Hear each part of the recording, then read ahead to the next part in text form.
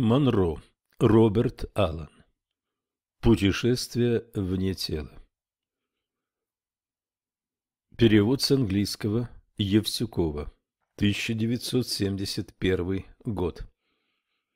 Когда у Роберта Монро неожиданно начались самопроизвольные выходы из физического тела, поначалу его охватили тревога и сомнения он обнаружил у себя способность, находясь в тонкоматериальном втором теле, путешествовать в далекие миры и вступать в контакты с обитателями иных реальностей, не подвластным законам времени и смертей. По мере знакомства с другими людьми, испытавшими то же самое, и изучения религий Востока, в которых подобные состояния хорошо известны, его страхи стали слабее, а путешествия чаще и длительнее. Внетелесный опыт оказал на него огромное влияние и коренным образом изменил его жизнь. В своем классическом описании внетелесного опыта Роберт Монро призывает нас переосмыслить наше представление о жизни и смерти и предлагает разработанную им программу упражнений для его достижения. Введение. В нашем прагматически ориентированном обществе человек, ложащийся спать, как бы выпадает из жизни. Шесть или восемь часов он лежит неподвижно, а значит не действует, не мыслит с пользой для дела и вообще не занят ничем серьезным. Всем известно, что люди видят сны, при этом нам с детства внушается, что сновидения и прочие ощущения во время сна – это нечто малозначительное и по сравнению с повседневной действительностью нереальное. Поэтому большинство из нас привыкает забывать свои сны, а в тех случаях, когда они все же помнятся, рассматривать их как нечто странное. Правда, психологи и психиатры считают сновидения своих пациентов важным ключом к выяснению причин неправильного функционирования их психики, но даже и при таком подходе сновидения и иные явления, связанные со сном, никоим образом не рассматриваются как нечто реальное, в них видят всего лишь обработку человеческим компьютером внутренних данных. Конечно, из этого широко распространенного пренебрежительного отношения к сновидениям есть кое-какие важные исключения, однако в современном обществе подавляющее большинство людей считают сны незаслуживающими серьезного внимания. Чтобы мы подумали о человеке, который наперекор общепринятому мнению утверждает, что во сне – или в других бессознательных состояниях с ним происходит нечто не просто производящее на него глубокое впечатление, но вполне с его точки зрения реальное. Предположим, этот человек утверждает, что накануне ночью он летал по воздуху над большим городом, в котором легко узнал Нью-Йорк. Далее он сообщает, что этот сон был не только необычайно ярким, но в тот момент человек был вполне уверен, что это ему вовсе не снится, а он на самом деле летит над Нью-Йорком.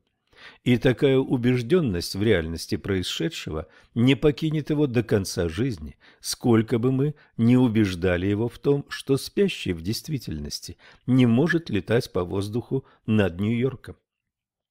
Скорее всего, мы постараемся не обращать внимания на того, кто рассказывает такие истории, или же вежливо, а то и не очень вежливо, намекнем ему, что у него не в порядке с головой, что он спятил, и посоветуем сходить к психотерапевту.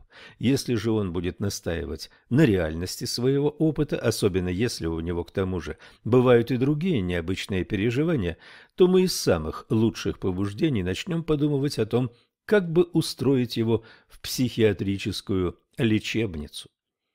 Со своей стороны наш путешественник, если он не глуп, быстро сообразит, что распространяться о своих переживаниях не стоит – как я установил в своих беседах со многими такими людьми, главной проблемой для них становится опасение, не сошли ли они с ума.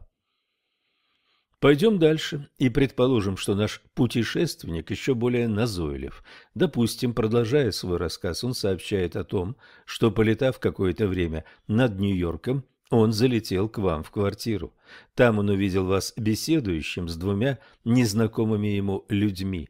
Он подробно описывает их и пересказывает, о чем шел разговор в те несколько минут, пока он присутствовал в вашей квартире. Допустим, наш путешественник оказывается прав. В то самое время, когда это с ним происходило, вы действительно беседовали на ту самую тему и с теми самыми людьми, как он и описывает. Ну и что же теперь делать со всем этим? Обычная реакция в подобной гипотетической ситуации такова. Все это очень интересно, но поскольку известно, что такого не может быть, не стоит ломать над этим голову. Другой способ успокоить себя – ухватиться за слово «совпадение». В неразрешимых ситуациях это слово просто находка. К несчастью для нашего душевного равновесия существуют тысячи сообщений, исходящих от нормальных людей и описывающих в точности такие же случаи. Так что мы имеем дело с ситуацией отнюдь не гипотетической. Это явление называется перемещающимся ясновидением, астральной проекцией, а более научно – внетелесным опытом – ВТО. Описательно ВТО можно определить как событие, участник которого, во-первых, по-видимому, воспринимает какую-то часть реальной действительности, недоступную восприятию там, где в данный момент находится его физическое тело, и, во-вторых, в то же время осознает, что это ему не снится, и он не грезит. Субъект ВТО, по всей видимости, сохраняет при этом нормальное сознание, и хотя ему самому может казаться, что происходящего с ним не может быть, он ощущает присутствие своей обычной критической способности и таким образом понимает, что это не сон.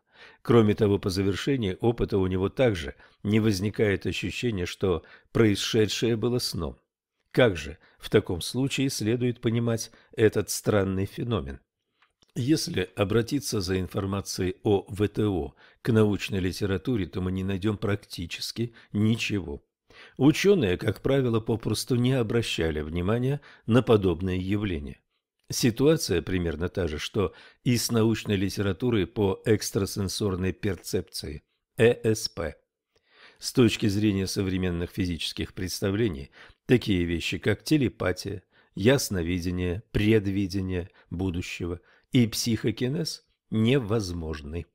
Поскольку их не может быть, Большинство ученых не дают себе труда хотя бы ознакомиться с материалами об их существовании, соответственно, неосведомленность лишь укрепляет их уверенность в невозможности подобных феноменов.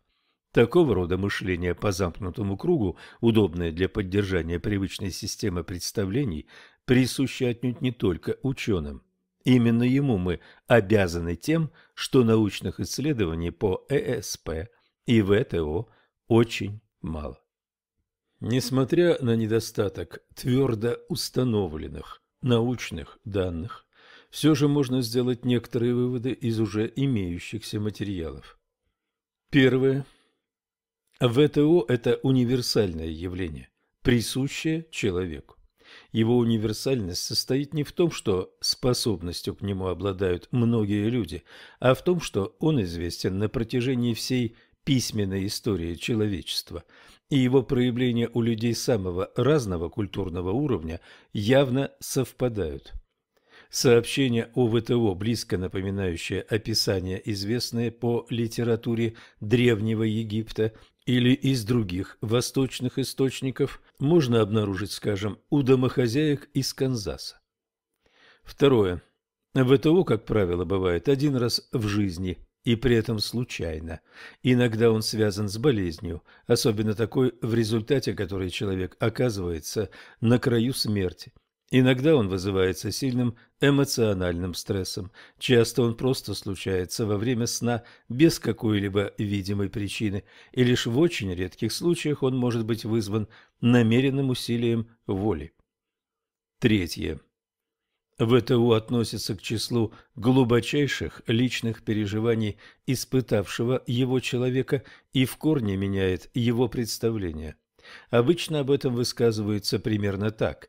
Теперь я не верю в жизнь после смерти и в бессмертие души. Я знаю, что буду жить после смерти. Человек в непосредственном опыте ощущает себя живым и сознающим вне своего физического тела и убеждается, что у него есть нечто вроде души, которая может пережить смерть тела.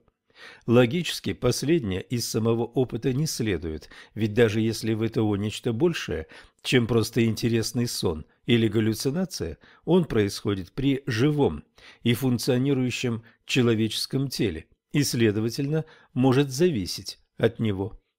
Такой аргумент, однако, не производит впечатления на испытавших ВТО. Какова бы ни была точка зрения на реальность этого явления, ясно, что оно заслуживает самого серьезного внимания психологов. Я уверен, что представления о существовании души возникли на основе ВТО, переживавшимися людьми в древности. Имея в виду всю важность понятия души для наших религий и значимость самой религии для жизни людей, нельзя допустить, чтобы наука просто отмахнулась от этой проблемы. Четвертое. Для испытавших ВТО это, как правило, чрезвычайно радостное событие. По моей приблизительной оценке 90-95% людей во время ВТО ощущали глубокую радость, и только 5% были сильно напуганы, так как единственное объяснение, приходившее им в голову, сводилось к тому, что они умирают. Однако после, когда человек задним числом пытается оценить свой ВТО, его реакция нередко оказывается весьма негативной. Едва ли не каждый раз, когда я читаю лекции на эту тему, кто-нибудь из слушателей подходит ко мне и благодарит за информацию. При этом выясняется, что какое-то время назад с ним случилось то же самое, о чем я рассказывал в лекции, и он мучился сомнением, не сошел ли он с ума. Пятое. Иногда описание событий, происшедших в отдаленном месте и наблюдавшихся субъектом ВТО, оказывается верным и более точным, чем можно было бы ожидать в случае простого совпадения. Для объяснения этого мы должны допустить, что галлюцинаторные впечатления ВТО сопровождаются ЭСП, или же что в каком-то смысле человек действительно находился в двух местах сразу. В последнем случае ВТО в самом деле можно расценить как нечто реальное. То обстоятельство, что большинство наших сведений о ВТО исходит от людей, испытавших его лишь однажды в жизни, ставит перед нами две серьезные трудности. Первая состоит в том, что большинство людей не могут вызывать ВТО по своему желанию, а значит это делает невозможным изучение феномена в лабораторных условиях. Вторая трудность. Человек, на короткое время выброшенный в совершенно новую для него обстановку, оказывается плохим наблюдателем. Он слишком возбужден и слишком занят попытками как-то сориентироваться в незнакомой ему ситуации. Поэтому сведения, полученные от людей, лишь однажды переживших ВТО, очень поверхностны. Для изучения феномена крайне необходим опытный путешественник, которому под силу по своему желанию вызывать у себя это состояние и к тому же обладающий способностями внимательного наблюдателя. Предлагаемая вам книга – чрезвычайная редкость. Ее автор, которого, я уверен, следует отнести к числу таких именно внимательных наблюдателей, описывает сотни пережитых лично им ВТО – Ничего подобного не публиковалось за многие годы. Роберт А. Монро – преуспевающий джентльмен. ВТО начались у него совершенно неожиданно, более десяти лет назад. Родом из преподавательской семьи, с интеллектом выше среднего, он сразу оценил всю необычность этих состояний и с самого начала стал вести систематические записи. Я не буду останавливаться на самих его ВТО, они описаны им столь захватывающе и доступно, что не нуждаются в рекомендации. Вместо этого я бы отметил те присущие ему качества, которые характеризуют его как хорошего наблюдателя и дают мне основание доверять его сообщениям. Внимательный расспрос большинства из тех, кому довелось пережить подобное, особенно с религиозной подоплекой, как правило, обнаруживает, что первоначальное описание происшедшего в действительности характеризует не столько само событие, сколько представляет собой его субъективную интерпретацию. Допустим, на самом деле с человеком произошло следующее. Посреди ночи он вдруг обнаруживает, что парит в воздухе над своим телом. Еще не успев опомниться от изумления, он замечает у стены комнаты размытую неясную фигуру. Затем появляется некая окружность, от которой исходит голубое свечение, и медленно проплывает мимо этой фигуры слева направо. Тут человек теряет сознание и просыпается уже в своем физическом теле. Внимательный наблюдатель опишет все, как было на самом деле. Многие же, свято веря в то, что говорят, расскажут что-нибудь вроде следующего. «Прошлой ночью, по милости Божьей, моя бессмертная душа была извлечена из тела, и ангел явился предо мной. В знак благоволения Божьего ангел показал мне символ цельности. Мне часто приходилось сталкиваться с подобными искажениями, когда, расспрашивая людей, я пытался выяснить, что же произошло с ними на самом деле. К сожалению, большинство из опубликованных сообщений о ВТО не подвергались такому анализу. Утверждение о том, что ВТО вызван волей Божьей, что неясная фигура ангел, а голубая окружность символ цельности, относится к интерпретации, а не к самим ощущениям. Большинство людей не подозревают, до какой степени автоматически их мышление интерпретирует события. Не зная этого, они полагают, будто воспринимают вещи такими, каковы они на самом деле. Из тех немногих, кому довелось неоднократно пережить ВТО, Роберт Монро уникален тем, что отдает себе отчет, насколько его разум пытается интерпретировать ощущения, втиснув их в привычные рамки мышления. Его описания особенно ценны, ибо он прилагает большие усилия, чтобы рассказать все как есть. Другое редкое качество мистера Монро – это готовность подвергнуть свои ВТО критической проверке, особенно его открытость сотрудничеству с учеными в исследовании его способностей. С сожалением вынужден констатировать, что готовность эта остается, по большей части, односторонней. Я оказался единственным из специалистов, кто уделил довольно много времени работе с ним. Теперь перейдем к описанию экспериментов, которые нам удалось провести с ним с целью изучить физиологические и парапсихологические аспекты его ВТО. Эти исследования представляют собой всего лишь скромное начало, но и они дают кое-какую полезную информацию. Первоначальная серия лабораторных исследований, которые нам удалось осуществить, проводилась в течение нескольких месяцев с сентября 1965 года по август 1966 года, когда у меня была возможность пользоваться оборудованием электроэнцефалографической лаборатории медицинского факультета Вирджинского университета. В восьми экспериментах от мистера Монро, подсоединенного к различным приборам для контроля за физиологическими функциями его организма, требовалось вызвать у себя ВТО. Кроме того, ему предлагалось, находясь в этом состоянии, направиться в соседнюю комнату и понаблюдать за действиями лаборантки, обслуживающей работу приборов, а также прочесть число из пяти случайных цифр от 0 до 9, помещенные на полке, расположенные на высоте 6 футов над полом. При этом производилась запись волн его мозга, электроэнцефалограмма, движений глаз и сердечной деятельности, электрокардиограмма. К сожалению, лаборатория была не приспособлена для длительного неподвижного лежания испытуемого. Поскольку там не было кровати, нам пришлось поставить армейскую койку. Один из датчиков для записи электроэнцефалограммы крепился на ухе с помощью зажима, что вызывало раздражение уха и несколько затрудняло релаксацию. В течение семи первых вечеров мистеру Монро не удалось вызвать у себя ВТО. На восьмой вечер он смог вызвать два очень кратких ВТО, детальное описание которых приводится им в этой книге на странице 65.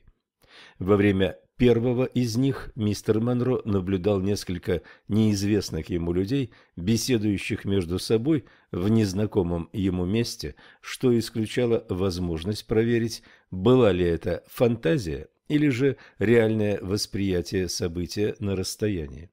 Во время второго ВТО мистер Монро, по его словам, был не в состоянии вполне контролировать свои движения и потому не смог увидеть число в соседней комнате. Однако он правильно сообщил, что лаборантка во время его второго ВТО находилась не в соседней комнате, а стояла в коридоре с каким-то мужчиной. Позже выяснилось, что это был ее муж. Как парапсихолог я не могу утверждать, что это доказывает реальность наблюдения на расстоянии. Нельзя полностью исключить вероятность того, что интерпретация реального события не была переосмыслена испытуемым задним числом.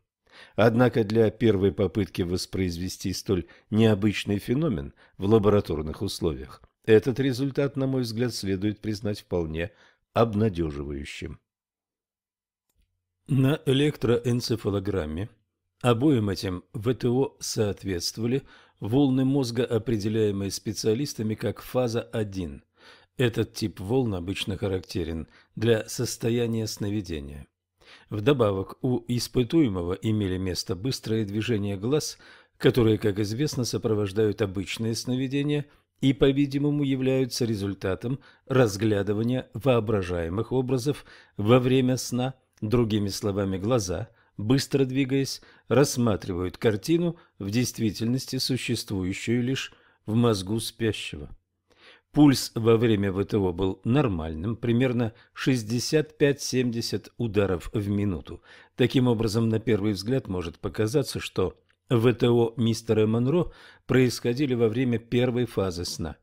Главным аргументом против этого служит то, что по оценке мистера Монро каждый из двух ВТО длился секунд по 30, тогда как каждый период первой фазы сна продолжается более трех минут.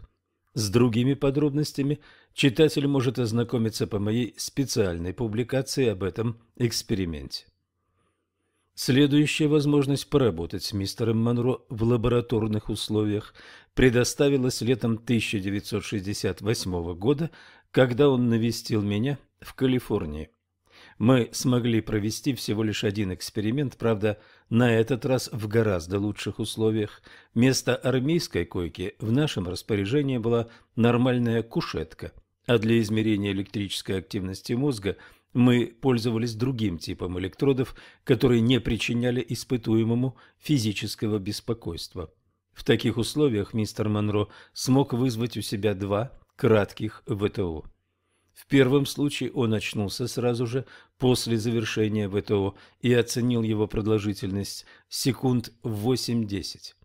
Как раз накануне его пробуждения ЭЭГ зафиксировала фазу 1 и, по всей видимости, единственное быстрое движение глаз за это время. Кровяное давление резко упало, в течение 8 секунд было устойчиво низким, а затем столь же внезапно поднялось до нормального уровня. Мистер Монро сообщил, что выкатился из своего тела. Его описание этой техники смотри на странице 66 и на несколько секунд оказался в коридоре, соединяющем его комнату с той, где располагались записывающие приборы, но затем ощутил необходимость вернуться назад в свое тело, так как почувствовал, что ему трудно дышать. Ассистентка Джоан Кроуфорд и я в этот момент наблюдали за ним по кабельному телевизору и видели, как перед самым пробуждением он легонько отодвинул руку от горла. После этого мистер Монро попробовал вызвать у себя еще один ВТО, который был бы более убедителен с точки зрения ЭСП, намереваясь пройти в аппаратную и прочесть заранее приготовленное число на полке в этой комнате. Довольно долгое время его ЭЭГ показывало неглубокий сон, так что я был вынужден обратиться к нему по внутреннему радио с напоминанием, что мы ждем от него ВТО. Некоторое время спустя он сказал, что ВТО у него получился, но плохо ориентируясь в обстановке, он пошел вдоль какого-то провода, думая, что тот приведет его в аппаратную, однако вместо этого оказался в каком-то странном месте, которое он, по его мнению, никогда ранее не видел. Решив, что безнадежно заблудился, он вернулся в свое тело. Описание увиденного им места больше всего соответствовало внутреннему двору, где он и в самом деле должен был очутиться во время ВТО, если бы по ошибке пошел в направлении прямо противоположном правильному.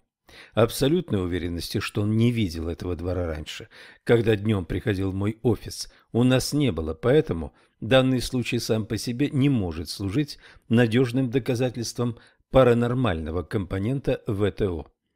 Что касается физиологических изменений, то ЭЭГ снова зафиксировала фазу 1 сновидения – и всего лишь два быстрых движения глаз за весь период. Четко выраженного падения кровяного давления не было. Таким образом, на сегодняшний день мы располагаем результатами измерения деятельности мозга и тела мистера Монро во время четырех кратких ВТО. В совокупности они указывают на то, что ВТО сопровождаются таким типом активности мозга, который обычно характерен для ночных сновидений при этом кровяное давление иногда понижается, но сколько-нибудь значительных изменений частоты пульса не наблюдается. Никакого смертного транса, называемого в старой оккультной литературе обязательным признаком ВТО, я не зафиксировал, хотя нельзя исключать возможности того, что такого типа транс может сопровождать более продолжительное ВТО. Внешне ВТО мистера Монро соответствует состоянию обычного сновидения у других людей. Однако в силу ряда причин было бы упрощением полагать, что его ВТО – сновидение. Во-первых, сам мистер Монро четко отличает свои сновидения от ВТО. Во-вторых, с тех пор, как у него начались ВТО, он стал редко запоминать свои сны. В-третьих, если бы мы имели дело с физиологическими проявлениями состояния обычного сновидения, следовало бы ожидать гораздо большего числа быстрых движений глаз, чем то, которое наблюдалось. Другими словами, если допустить, что в ВТО мистера Монро особая разновидность сновидения, то в таком случае движение глаз и содержание сновидения очевидно плохо коррелируют друг с другом. В-четвертых, по словам мистера Монро, многие из его ВТО наступают почти сразу же, после того, как вечером он ложится в постель. Наступление фазы 1 без предварительного состояния сна, без сновидений в течение 80-90 минут случается крайне редко. Таким образом, в данном случае, при том же самом или сходном физиологическом состоянии, ВТО, по-видимому, замещает собой обычное сновидение. Схема лабораторных экспериментов с участием мистера Монро до сих пор была весьма проста. Я просил его вызвать у себя ВТО, чтобы зафиксировать изменения, происходящие в его организме, с целью не только понять их существо, но и, смоделировав такое состояние искусственным образом, получить возможность вызывать ВТО у других. Для парапсихологической проверки я просил его попытаться прочесть число, помещенное в другой комнате, чтобы получить достоверное доказательство того, что его воспринимающая способность не ограничена физическим телом. По его словам, он был не в состоянии настолько четко контролировать свои движения, чтобы выполнить второе задание, однако надеется, что в конце концов сможет сделать это в лабораторных условиях. В качестве подтверждения могу сослаться Например, одной молодой женщины, изучавшейся мною, которая была в состоянии выполнять такие задания. Эта молодая особа отличалась от мистера Монро тем, что у нее в ВТО случались более непроизвольно, хотя и часто, и характеризовались иным типом активности мозга. Тем не менее, в одном случае она смогла правильно прочесть пятизначное случайное число, помещенное на полку довольно высоко, вне пределов ее зрения. Подробно этот эксперимент описан в моей статье. Однако, читая увлекательную книгу мистера Монро, вы сможете представить себе, каким непростым является доказательство. Сведения мистера Монро, свидетельства многих известных мистиков всех времен и данные ЭСП указывают на то, что современная физическая картина мира очень ограничена – и реальность гораздо многомернее наших представлений. Попытки мои и других исследователей сделать ВТО управляемыми могут оказаться не столь успешными, как того бы хотелось. Приведу в качестве примера два эксперимента с мистером Монро, которые лично на меня произвели большое впечатление, хотя с точки зрения общепринятых научных критериев оценить их весьма трудно. Вскоре после завершения первой серии лабораторных экспериментов я переехал с восточного побережья в Калифорнию.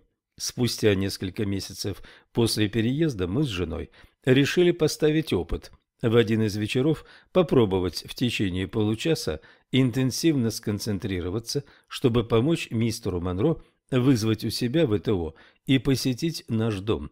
Если бы ему удалось затем описать наше жилище – это дало бы интересные сведения по парапсихологическим аспектам ВТО. Выбранный нами для этого день я после обеда позвонил мистеру Монро и сказал, что сегодня ночью, точное время я не сообщил, мы с женой попытаемся направить его через всю страну к нашему дому. Никаких других подробностей я ему не дал. В тот вечер я наугад выбрал время, когда, по моим расчетам, мистер Монро давно уже должен был спать. Это было 11 часов вечера по калифорнийскому времени, что соответствовало двум часам ночи на восточном побережье. В 11 часов мы с женой начали концентрироваться. В 11.05 вдруг зазвонил телефон. Мы не ответили на звонок, продолжая свои усилия до 11.30. На следующее утро я позвонил мистеру Монро и сказал, что результаты были обнадеживающими, попросив его описать свои ощущения, чтобы затем сравнить их с нашими независимыми друг от друга отчетами. В тот вечер, когда ставился этот эксперимент с мистером Монро, произошло следующее, цитирую по его записи, присланной им по почте – Вечер прошел без каких-либо событий. Я лег в постель примерно в 1.40 ночи. При этом находился в состоянии полного бодрствования, положение тела север-юг. В постели со мной была кошка. Довольно долго успокаивал свое сознание. Наконец по телу разлилось ощущение тепла. Провалов в сознании не было, предсонного состояния тоже. Внезапно я почувствовал, как что-то или кто-то раскачивает мое тело из стороны в сторону, а затем потянуло меня за ноги. Я услышал жалобное мяуканье кошки. Мне сразу же стало ясно, что каким-то образом это связано с экспериментом Чарли, и поэтому я не насторожился, как обычно, по отношению к незнакомым. Подтягивание за ноги продолжалось, а когда, наконец, мне удалось высвободить руку своего второго тела, поднять ее и пошарить в темноте, потягивание прекратилось. Немного спустя чья-то рука взяла меня за запястье, сначала легонько, а затем очень-очень крепко, и легко вытащила меня из моего физического тела. Все еще полный доверия и слегка возбужденный, я выразил согласие отправиться к Чарли, если это он, оно направляет меня. Получил утвердительный ответ, безучастный, очень деловой. Кроме ладони, очень крепко державшей меня за запястье, ощутил часть локтя, слегка волосатый, мускулистый, мужской. Но разглядеть, кому принадлежала рука, не смог. Кроме того, услышал, как один раз было названо мое имя. Затем мы начали двигаться, при этом было знакомое ощущение, будто тело стремительно мчится сквозь нечто вроде воздуха. После краткого перемещения, длившегося секунд пять, мы остановились, и рука отпустила мое запястье. Стояла полная тишина и темнота. Затем я медленно опустился в нечто вроде комнаты. Здесь я оборву цитату, добавив лишь, что когда Мистер Монро закончил свое краткое путешествие и поднялся с постели, чтобы позвонить мне. Было 2.05 ночи по его времени. Это в точности совпадает с началом нашей концентрации. Он почувствовал, что кто-то вытаскивает его из тела примерно минуту спустя после того, как мы с женой начали концентрироваться. Вместе с тем его описание нашего дома и наших действий оказалось совершенно неудачным. Он ощутил, будто в комнате находится слишком много людей. Он ощутил, будто я делаю нечто, чего я на самом деле не делал, а его описание самой комнаты было слишком расплывчатым. Какие выводы я делаю из этого?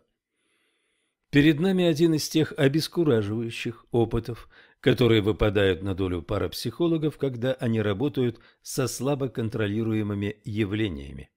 Он не настолько убедителен, чтобы заявлять, будто паранормальный эффект бесспорно имел место, но вряд ли можно утверждать и обратное, что ничего подобного не было вовсе. Удобнее всего держаться точки зрения здравого смысла. Физический мир таков, каким он нам кажется, а человек или его органы чувств может воспринимать лишь то, что его непосредственно окружает. Некоторые из ВТО, описанных в литературе, как будто подтверждают такую позицию, тогда как другие демонстрируют противоречивое сочетание правильного восприятия физической ситуации с восприятием того, чего не было или что не происходило для нас, обычных наблюдателей. Мистер Монро описывает в своей книге несколько таких смешанных опытов. В первую очередь это те случаи, когда во время ВТО ему как будто удавалось вступить в контакт с человеком, но потом тот человек так и не мог вспомнить об этом.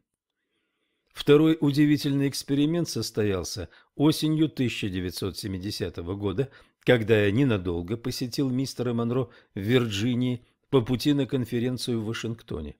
Остановившись у него переночевать, я попросил, чтобы он, если этой ночью у него будет ВТО, зашел бы ко мне в спальню и попробовал вытащить меня из тела. Вместе с тем я отдавал себе отчет в некоторой двойственности своего намерения. Одна часть моего «я» хотела, чтобы это получилось, другая противилась этому. Второе настроение было, пожалуй, сильнее первого. На другое утро, где-то вскоре после рассвета, ночь я проспал беспокойно, время от времени пробуждаясь от легкой дремоты. Еще во сне я стал смутно припоминать, что мистер Монро должен попробовать извлечь меня из тела. Находясь в состоянии сна и в то же время частично осознавая себя – я почувствовал вокруг себя, в мире своего сновидения, какую-то вибрацию, несшую в себе ощущение неизъяснимой угрозы. Вопреки охватившему меня страху, я решил, что должен постараться испытать ВТО. Но тут нить моего сознания прервалась, и в памяти осталось только то, что спустя какое-то время я проснулся с ощущением неудачи эксперимента. Через неделю я получил письмо от своего коллеги из Нью-Йорка, известного парапсихолога доктора Стэнли Крипнера, по прочтении которого я задумался, а можно ли считать это неудачей. Он писал не о случае, происшедшем с его приемной дочерью Кэрри, я ее знаю и люблю, в то самое утро, когда мне снился описанный выше сон.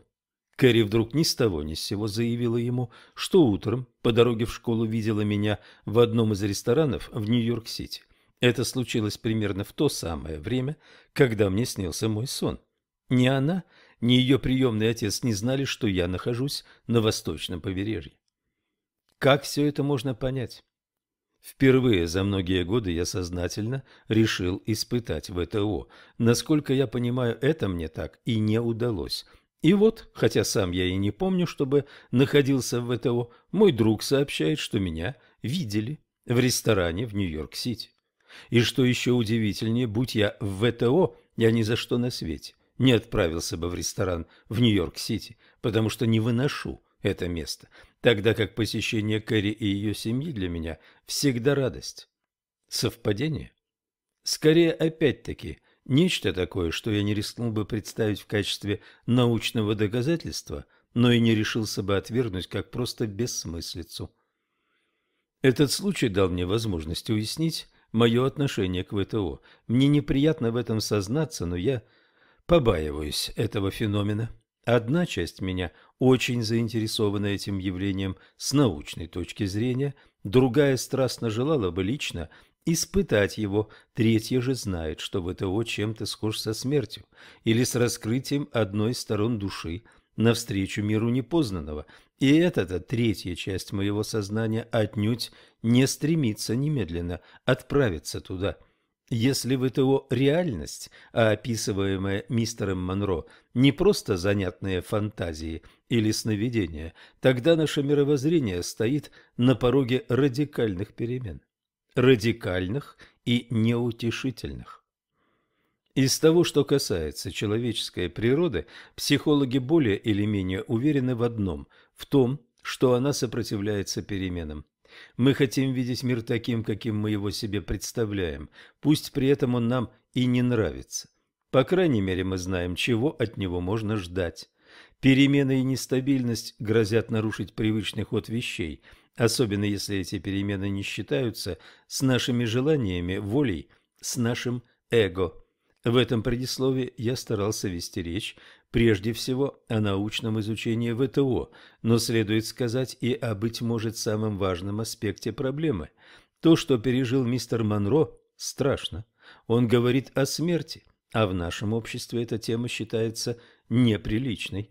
Мы припоручаем священнослужителям произносить слова утешения, порой отпускаем на сей счет шутки в нас коренится множество агрессивных фантазий относительно смерти других, но на самом деле мы не размышляем об этом. Эта книга заставит вас задуматься о смерти. Кое-что из написанного в ней вам не понравится, кое-что вдохновит. Честь Роберта Монро сумасшедшим. Но я бы не советовал поддаваться такому соблазну, как не советую и принимать все сказанное им за абсолютную истину. Он хороший наблюдатель. Как человеку я испытываю к нему огромное уважение, но при этом он всего лишь человек, воспитанный в определенной культурной среде, в определенную эпоху, и потому его способность наблюдать ограничена. Не забывайте об этом. Серьезное отношение к пережитому и описанному им может нарушить ваше душевное равновесие, но может и, вопреки чувству страха, помочь узнать кое-что весьма важное. Если вы очень-очень любопытны и хотите сами испытать ВТО, мистер Монро в главах 16 и 17 описывает приемы, его достижения, испробованные им самим. Я не знаю, насколько они годятся для других, до сих пор практически никто серьезно не осваивал эту технику. Под серьезностью я понимаю работу над ними, а не просто десятиминутные усилия. Если ваша работа увенчается частичным или полным успехом и вам удастся вызвать у себя ВТО, я был бы признателен, если бы вы написали мне об этом по адресу Post Office Box 5366, Нью-Йорк. Нью-Йорк 117. Быстрого ответа обещать не могу, но если какое-то число людей сообщат о своих результатах применения техники мистера Монро, мы узнаем много нового. Внимательно читайте книгу и наблюдайте за своей реакцией. Если вам в самом деле захочется испытать ВТО, желаю удачи. Дэвис, Калифорния, 10 января 1971 года. Чарльз Т. Тарт. Роберт Аллен Монро. Путешествие вне тела. Роберт Аллен Монро провел детство в Лексингтоне, штат Кентукки, в нормальной и дружной семье. В Государственном университете штата Огайо изучал основы медицины, коммерцию, машиностроение, драматургию и английский язык. После окончания университета в 1937 году поступил на работу на радиовещание в качестве сценариста-режиссера. Работая в Нью-Йорке, регулярно писал статьи для журналов и воскресных газет, вел колонку по авиации в ежемесячном журнале, сочинил несколько киносценариев. На радио первым стал вести ежедневную программу с инсценировками железнодорожных путешествий «Рокки Гордон», которую сам задумал и составлял на протяжении нескольких лет. После войны мистер Монро основал свою собственную компанию, ставшую одним из крупнейших в то время производителей массовых радиопрограмм. В настоящее время мистер Монро – президент и директор двух корпораций, действующих в области кабельного телевидения и электроники. С женой Нэнси и семьей он живет на ферме близ Блу-Ридж, штат Вирджиния. Там же находится и недавно основанный им Институт исследований разума, который должен открыться в конце 1971 года. Первое. Обухом по голове. Излагаемые в этой главе мысли обычно выносятся в предисловие.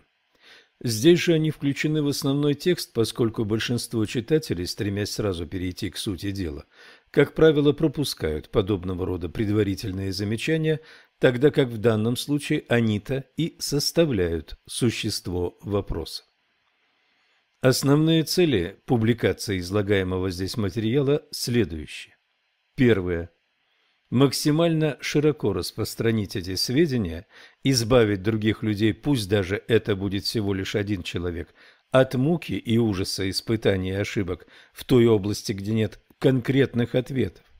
Утешить его тем, что тот же самый опыт уже пережит другими, чтобы он распознал в себе этот феномен и таким образом избежал психической травмы или еще хуже душевного срыва и помещения психиатрическую клинику. Второе.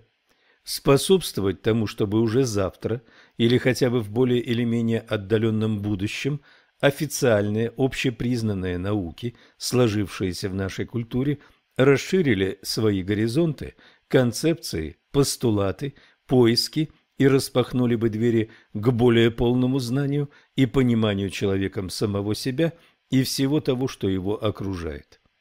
Если обе или хотя бы одна из этих целей тем или иным образом осуществятся, это послужит наградой для автора этой книги.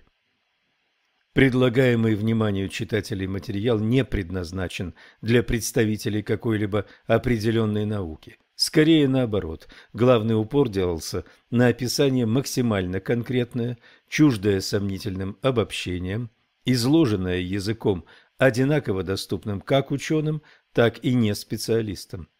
Физик, химик, биолог, психиатр или философ, возможно, изложили бы то же самое более четко в научных терминах.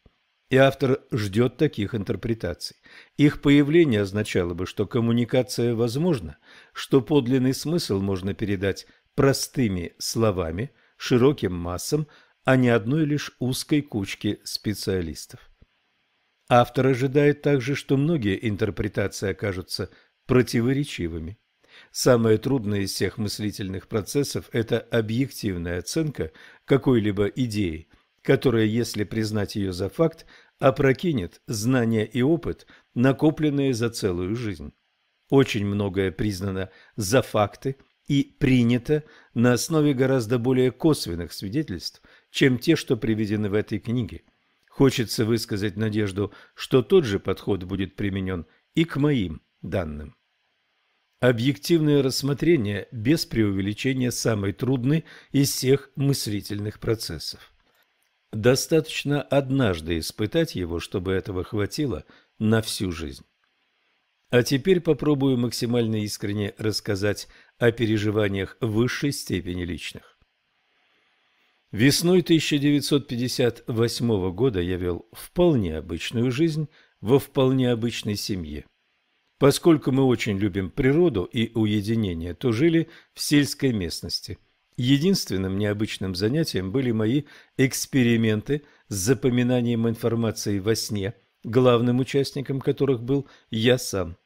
Первый признак отклонения от нормы проявился в одно из воскресений после обеда.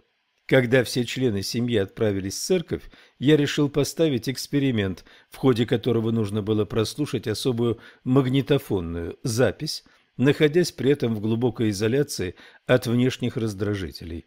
Это была просто попытка сконцентрироваться на одном единственном источнике, слуховом, осмысленного сигнала с пониженным поступлением сигналов от других органов чувств. Степень запоминания и воспроизведения информации должна была определить успешность данной техники. Изолировавшись от света и звуков, я слушал пленку. Никаких необычных или случайных установок она не содержала. Оглядываясь назад, можно сказать, что наиболее значительной была сильная установка на запоминание всего, относящегося к упражнениям по релаксации. Пленка закончилась, результат был вполне обычным. Запоминание оказалось прочным и полным, поскольку явилось результатом моих собственных усилий, и таким образом сам процесс был мне знаком. Пожалуй, даже слишком, ибо удержание в памяти и закрепление нового незнакомого материала оказались мне не под силу. Эту технику следовало бы попробовать с каким-нибудь другим испытуемым. Когда домашние вернулись, мы позавтракали яичницей-болтуньей с беконом и выпили кофе. За столом произошла незначительная размолвка, не имеющая никакого отношения к сути моего рассказа. Спустя немногим более часа со мной случилась жесточайшая судорога, не отпускающая боль стальным обручем, охватила диафрагму, область солнечного сплетения под самой грудной клеткой. Решив, что я отравился за завтраком, я в отчаянии попробовал вызвать у себя рвоту, но желудок был пуст. У других членов семьи, евших ту же пищу, не было никаких признаков болезни или расстройства. Предположив, что причина судорога брюшных мышц, я попробовал снять ее физическими упражнениями и ходьбой. Аппендицитом это быть не могло, так как аппендикс у меня был удален. Несмотря на боль, дышал я нормально. Сердцем, судя по пульсу, тоже все было в порядке. Не было ни испарины, ни каких-либо иных симптомов, только сильная давящая напряженность группы мышц верхней части живота. Мне пришло в голову, что судорога, возможно, каким-то образом вызвана прослушанной мною накануне магнитофонной записью Внимательно изучив пленку и письменный текст, с которого она была сделана, я не обнаружил ничего необычного. На тот случай, если вдруг приметалась какая-нибудь подсознательная установка, я, чтобы ослабить ее, выполнил все установки, записанные на пленке. Однако облегчение не наступило. Наверное, следовало немедленно вызвать врача, но случай не показался мне настолько серьезным, да и ухудшение не наступало. В то же время и лучше не становилось. Наконец мы решились, но никого из местных докторов вызвать не удалось. Одного не было дома, другой играл в гольф. С половины второго, примерно до полуночи, судорога и боль продолжались. Обычные домашние способы лечения не помогали. Где-то после двенадцати, когда все мои силы были уже на пределе, я заснул. Проснувшись рано утром, я обнаружил, что судорога и боль прошли. Осталось лишь болезненное ощущение в мышцах диафрагмы, какое бывает после долгого и сильного кашля. Так до сих пор и непонятно, чем был вызван этот приступ. Упоминаю о нем только потому, что он был первым из необычных явлений, физических или иных, которые стали со мной происходить. Оглядываясь назад, можно предположить, что это было прикосновение волшебной палочки а точнее удар обухом. Но тогда я еще не подозревал об этом. Недели через три произошло второе важное событие. После случившейся со мной судороги я прекратил эксперименты с магнитофонной записью, так как меня не покидало сильное подозрение, что между ними есть какая-то связь. Таким образом, никакого видимого толчка ко второму происшествию не было. Случилось это опять в воскресенье после обеда, когда вся семья ушла в церковь. Я прилег на кушетку в гостиной, чтобы немного соснуть, пока в доме тихо. Едва я лег ничком, головой на север, если это имеет какое-либо значение, как вдруг почувствовал на себе нечто вроде пучка света или луча, исходящего с северной части неба под углом примерно 30 градусов к горизонту – Ощущение было такое, словно какой-то теплый свет охватил меня, только это был дневной свет, и луч был невидимым, если только он на самом деле был. Сначала я решил, что это солнечный луч, хотя на северной стороне дома такое было невозможно. Как только свет пронизал все мое тело, оно начало сильно дрожать. точнее сказать, вибрировать. Я не мог сделать ни одного движения. Было ощущение, что я словно зажат в тисках. Потрясенный и напуганный, я стал заставлять себя двигаться, преодолевая сопротивление каких-то невидимых оков. Когда, наконец, мне удалось медленно сесть на кушетке, дрожь и вибрация постепенно сошли на нет, и я получил возможность двигаться свободно. Я встал и прошелся по комнате. Никакого провала в сознании я не заметил. Часы показывали, что с того времени, как я лег на кушетку, прошло лишь несколько секунд. Во время всего происшествия глаза мои были открыты, и я слышал доносящиеся с улицы звуки. Я выглянул в окно, особенно внимательно посмотрев на север, сам не зная зачем. Кругом было спокойно, ничего необычного – Девясь столь странному событию, я вышел из дому пройтись. В течение последующих шести недель то же самое происходило со мной еще девять раз. В разное время и в разных местах. Общим было одно. Это начиналось сразу, после того, как я ложился отдыхать или спать. Каждый раз для того, чтобы сесть, мне приходилось преодолевать сильное сопротивление. После этого дрожь затихала. Хотя мое тело ощущало вибрацию, внешне она никак не проявлялась. Перебирая свои скромные познания в медицине, я вспомнил об эпилепсии, но скоро сообразил, что, во-первых, эпилептики не помнят своих ощущений во время припадков, а во-вторых, это наследственная болезнь, к тому же проявляющаяся уже в раннем возрасте. Ко мне это не подходило. Оставалось предположить какое-то заболевание мозга, например, опухоль, но и в этом случае симптомы были нетипичными, однако кто знает. С трепетом переступил я порог нашего давнего семейного врача доктора Ричарда Гордона и описал ему свои симптомы. Опытный диагност и специалист по внутренним болезням, он должен был разобраться, в чем тут дело. К тому же он знал мои предыдущие заболевания – После тщательного осмотра доктор Гордон высказал предположение, что я просто переутомился, поэтому мне нужно больше спать и сбросить лишний вес. Короче, он не смог обнаружить в моем организме никаких физических отклонений. Над моими опасениями относительно опухоли или эпилепсии он только посмеялся. Поверив его словам, я вернулся домой успокоенным. Коли у явления нет никакой физической причины, решил я, это, по-видимому, галлюцинация, нечто вроде сновидения. Поэтому, если вдруг оно наступит опять, постараюсь разобраться в нем как можно более спокойно. Долго ждать не пришлось. В тот же вечер это случилось снова. Началось минуты через две после того, как я лег спать. На этот раз я был исполнен решимости не отбиваться изо всех сил, а, сохранив спокойствие, понаблюдать, что же происходит. Продолжая лежать, я почувствовал, как ощущение волной хлынуло мне в голову и охватило все тело. Это была не дрожь, а скорее вибрация устойчивой, неизменной частоты. Чувство было такое, будто по всему телу, не причиняя ему боли, бежит электрический ток. Частота вибрации, по моей оценке, была раза в два меньше 60 ударов пульса в минуту. Перепуганный, я, тем не менее, воздержался от каких-либо действий, стараясь сохранить спокойствие. Я по-прежнему видел все, что окружало меня в комнате, но почти ничего не слышал из-за ревущего звука в ушах вызванного вибрацией. Мне было интересно, что же произойдет дальше. Но ничего не произошло.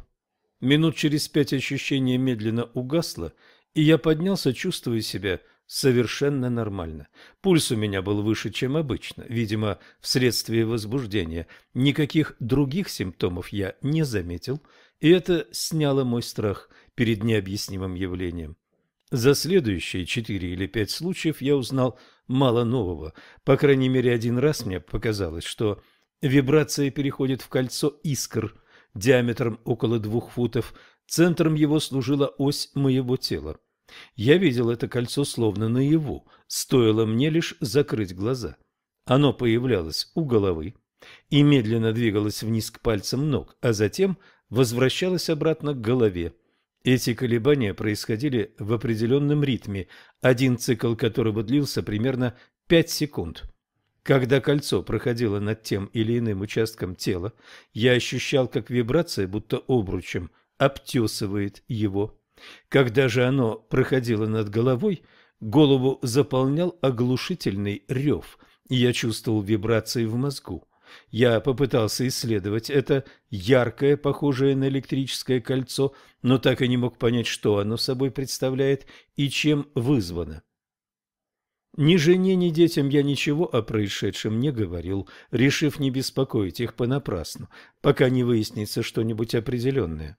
Единственным, кого я посвятил свою тайну, был мой друг, известный психолог доктор Фостер Брэдшоу, если бы не он, трудно сказать, где бы я сейчас был. Скорее всего, в известном лечебном заведении. Я рассказал ему о том, что со мной происходит, и он очень заинтересовался. Он предположил, что это какая-то форма галлюцинации. Как и доктор Гордон, он хорошо знал меня, и поэтому рассмеялся, услышав о моих опасениях относительно начальной стадии шизофрении и прочем. Я спросил его, как он думает, что мне делать. Его ответ я запомнил навсегда. «Ну, тебе не остается ничего другого, как разобраться в том, что все это значит», — ответил доктор Брэдшоу. «Во всяком случае, у тебя, похоже, нет другого выбора. Будь я на твоем месте, я бы где-нибудь уединился от людей и приложил все силы, чтобы найти ответ». В том-то и загвоздка, что все это происходило не с доктором Брэдшоу, а со мной, и уединиться я не мог позволить себе никоим образом, ведь, среди прочего, мне нужно было содержать семью. Прошло несколько месяцев.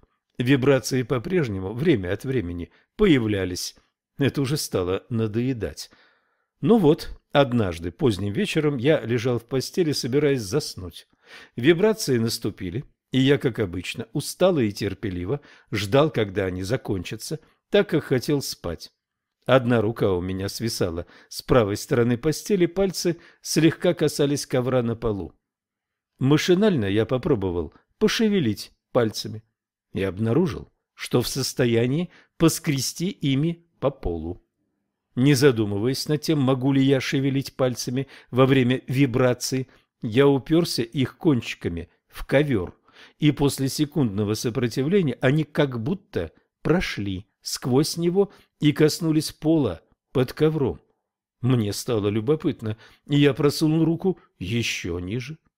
Пальцы прошли через пол, и я ощутил шершавую верхнюю поверхность потолка комнаты этажом ниже. Пощупав вокруг, я нащупал маленькую щепку треугольной формы, гнутый гвоздь и немного опилок. Слегка заинтересованный этим сном наяву, я сунул руку еще глубже. Она прошла через потолок первого этажа. Было ощущение, как будто вся рука насквозь проткнула пол. Ладонь коснулась воды. Нисколько не удивившись, я пальцами разбрызгал воду. Тут я внезапно полностью осознал ситуацию. Я был в абсолютно бодрствующем состоянии и наблюдал залитый лунным светом ландшафт за окном. Я ощущал, что лежу на постели, укрытой покрывалом, под головой у меня подушка, а грудь поднимается и опускается в такт дыханию. Вибрации еще продолжались, но уже слабее. И тем не менее, каким-то невероятным образом моя ладонь плескалась в луже воды – а рука, судя по ощущению, как будто проткнула пол насквозь. Я без сомнения был в состоянии полного бодрствования, но и эти ощущения были вполне реальны. Как мог я бодрствовать во всех отношениях и в то же время видеть сон, что моя рука прошла сквозь пол?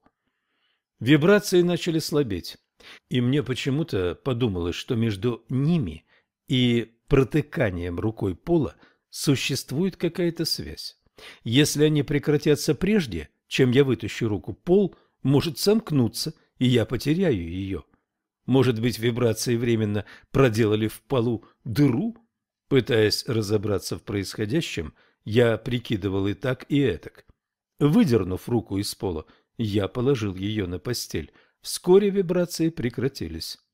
Я встал включил свет и осмотрел место рядом с постелью. Ни в ковре, ни в полу не было никакого отверстия. Никакой перемены в них я не заметил. Я принялся разглядывать ладонь и руку и даже попробовал, нет ли на ладони воды. Воды не было, да и рука выглядела совершенно обычно. Я оглядел комнату. Жена спокойно спала в постели, все вокруг было как будто в порядке. Прежде чем успокоиться настолько, чтобы заснуть, я долго размышлял об этой галлюцинации. На следующий день я всерьез стал подумывать о том, чтобы сделать в полу дырку и посмотреть, в самом ли деле под ним находится треугольная щепка, гнутый гвоздь и опилки, которые я нащупал там ночью. Однако уродовать пол из-за какой-то дикой галлюцинации я не решился. Я рассказал об этом случае доктору Брэдшоу, и он согласился, что это, похоже, наглядный пример сна наяву. Вместе с тем он высказался в пользу идеи сделать в полу дырку и посмотреть, что же там такое. Он же познакомил меня с доктором Льюисом Вольбергом, известным психиатром. За званым обедом я мимоходом упомянул о своих вибрациях, но доктор Вольберг проявил интерес лишь из вежливости – Судя по всему, он был не в настроении заниматься делами, и мне трудно осуждать его за это. Я все больше и больше чувствовал себя сбитым с толку. Мое окружение и личный опыт приучили меня ожидать более или менее точных ответов или, во всяком случае, достоверных предположений от современной науки. Запас научных, инженерных и медицинских знаний – хотя я и не специалист в этих областях, был у меня выше среднего. И вот я очутился перед лицом ситуации, когда оказалось не так-то просто получить не только ответ, но хоть сколько-нибудь приемлемое объяснение. Я до сих пор не могу отказаться от попытки разобраться во всем этом. Возможно, даже если бы захотел, все равно не смог.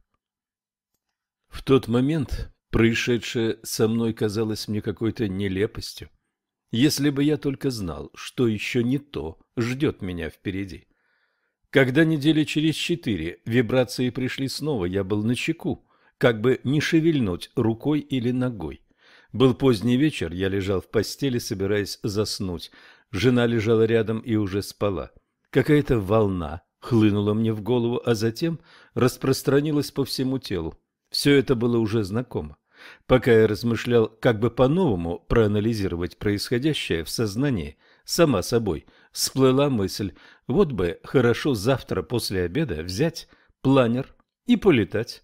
В то время я увлекался планеризмом. Не задумываясь о последствиях, даже не предполагая, что они могут быть, я просто представил себе удовольствие от полета. Спустя мгновение я почувствовал, как что-то давит мне на плечо. Удивившись, я потянулся рукой назад и вверх, чтобы нащупать, что там такое. Рука наткнулась на гладкую стену. Я провел по стене ладонью, сколько хватило руки. Стена была гладкой и не кончалась. Собравшись, я принялся, что есть силы, вглядываться в полумрак. Это в самом деле была стена, и я лежал, опершись на нее плечом. Мне сразу пришло в голову, что я заснул и упал с постели. Ничего подобного со мной раньше не бывало, но уж коли стали происходить всякие странные вещи, почему бы не случиться и такому? Затем я пригляделся повнимательнее. Что-то было не так. В стене не было ни дверей, ни окон, возле нее не стояло никакой мебели. Это не могло быть стеной моей спальни. И в то же время это было что-то знакомое. Понимание пришло мгновенно. Это не стена. Это потолок. Я парил под потолком, легонько подпрыгивая при каждом движении. Я перевернулся в воздухе, поглядел вниз и вздрогнул. Внизу, в полумраке, я увидел постель и две фигуры в ней. Та, что справа, была моей женой. Рядом лежал еще кто-то. Оба, похоже, спали. Странный сон, подумал я. Кто это приснился мне в постели с моей женой? Приглядевшись еще внимательнее, я был потрясен. Этим некто был я сам. Последовавшая за этим реакция была мгновенной. Я здесь, а мое тело там. Я умираю, это смерть, а я не готов умирать. Эти вибрации каким-то образом убили меня. Страшно перепугавшись, я словно водолаз устремился вниз к своему телу и нырнул в него. Я сразу ощутил себя в постели, накрытым одеялом, а когда открыл глаза, обнаружил, что разглядываю комнату с того самого места, где был до этого. Что произошло? Неужели я и вправду чуть не умер?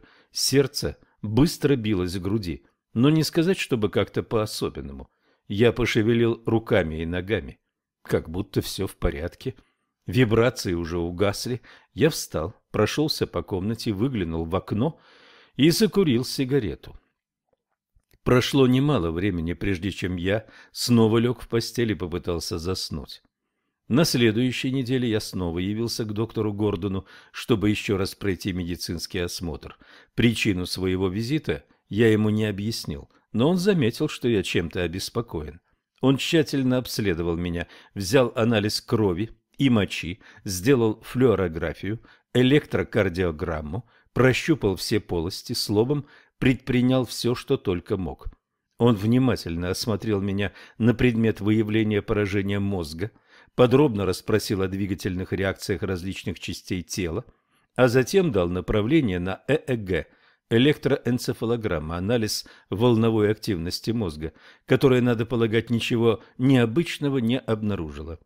По крайней мере, он не поставил меня в известность, а я уверен, что будь что-нибудь серьезное, он бы не стал ничего скрывать. Доктор Гордон дал мне успокоительного и отправил домой, порекомендовав сбросить лишний вес, меньше курить и больше отдыхать. На прощание он сказал, что если со мной что-то не так, то причина этого не в моем физическом состоянии. После этого я встретился со своим новым другом, доктором Брэдшоу, психологом. От него помощи оказалось еще меньше. Услышав мой рассказ, он не высказал никакого сочувствия, а всего лишь посоветовал повторить опыт, если у меня это получится. Я сказал ему, что не готов умирать. «Я не думаю, что это случится», — спокойно заявил доктор Брэдшоу. «Кое-кто из ребят, занимающихся йогой и всякими этими восточными штуками, утверждают, что могут делать это по желанию когда угодно». «Делать что?» — спросил я. Ну, выходить из физического тела на какое-то время. Они говорят, будто могут отправиться таким образом в любое место. Ты тоже должен попробовать. Я сказал ему, что все это звучит просто смешно. Невозможно перемещаться без физического тела. «Я бы не стал утверждать так категорично», — спокойно возразил доктор Брэдшоу. «Тебе нужно почитать что-нибудь об индусах. Ты вообще-то изучал философию в колледже?» Я ответил утвердительно, но как ни старался, ничего о такого рода путешествиях без тела припомнить не смог. «Сдается мне, у вас был не очень толковый профессор философии», доктор Брэдшоу загурил сигарету и поглядел мне в глаза. «Смотри на вещи шире. Попробуй, и получится». Как говорил мой старый профессор философии, если ты слеп на один глаз, поверни голову. Если слеп на оба глаза – Открой уши и слушай. Я спросил, что делать, если ты еще и глух, но ответа не получил. Ну, конечно, доктору Брэдшоу легко было рассуждать, ведь все это происходило со мной, а не с ним. И тем не менее трудно сказать, что бы я делал без его прагматичного совета и его неповторимого чувства юмора. Я в неоплатном долгу перед ним за эту поддержку.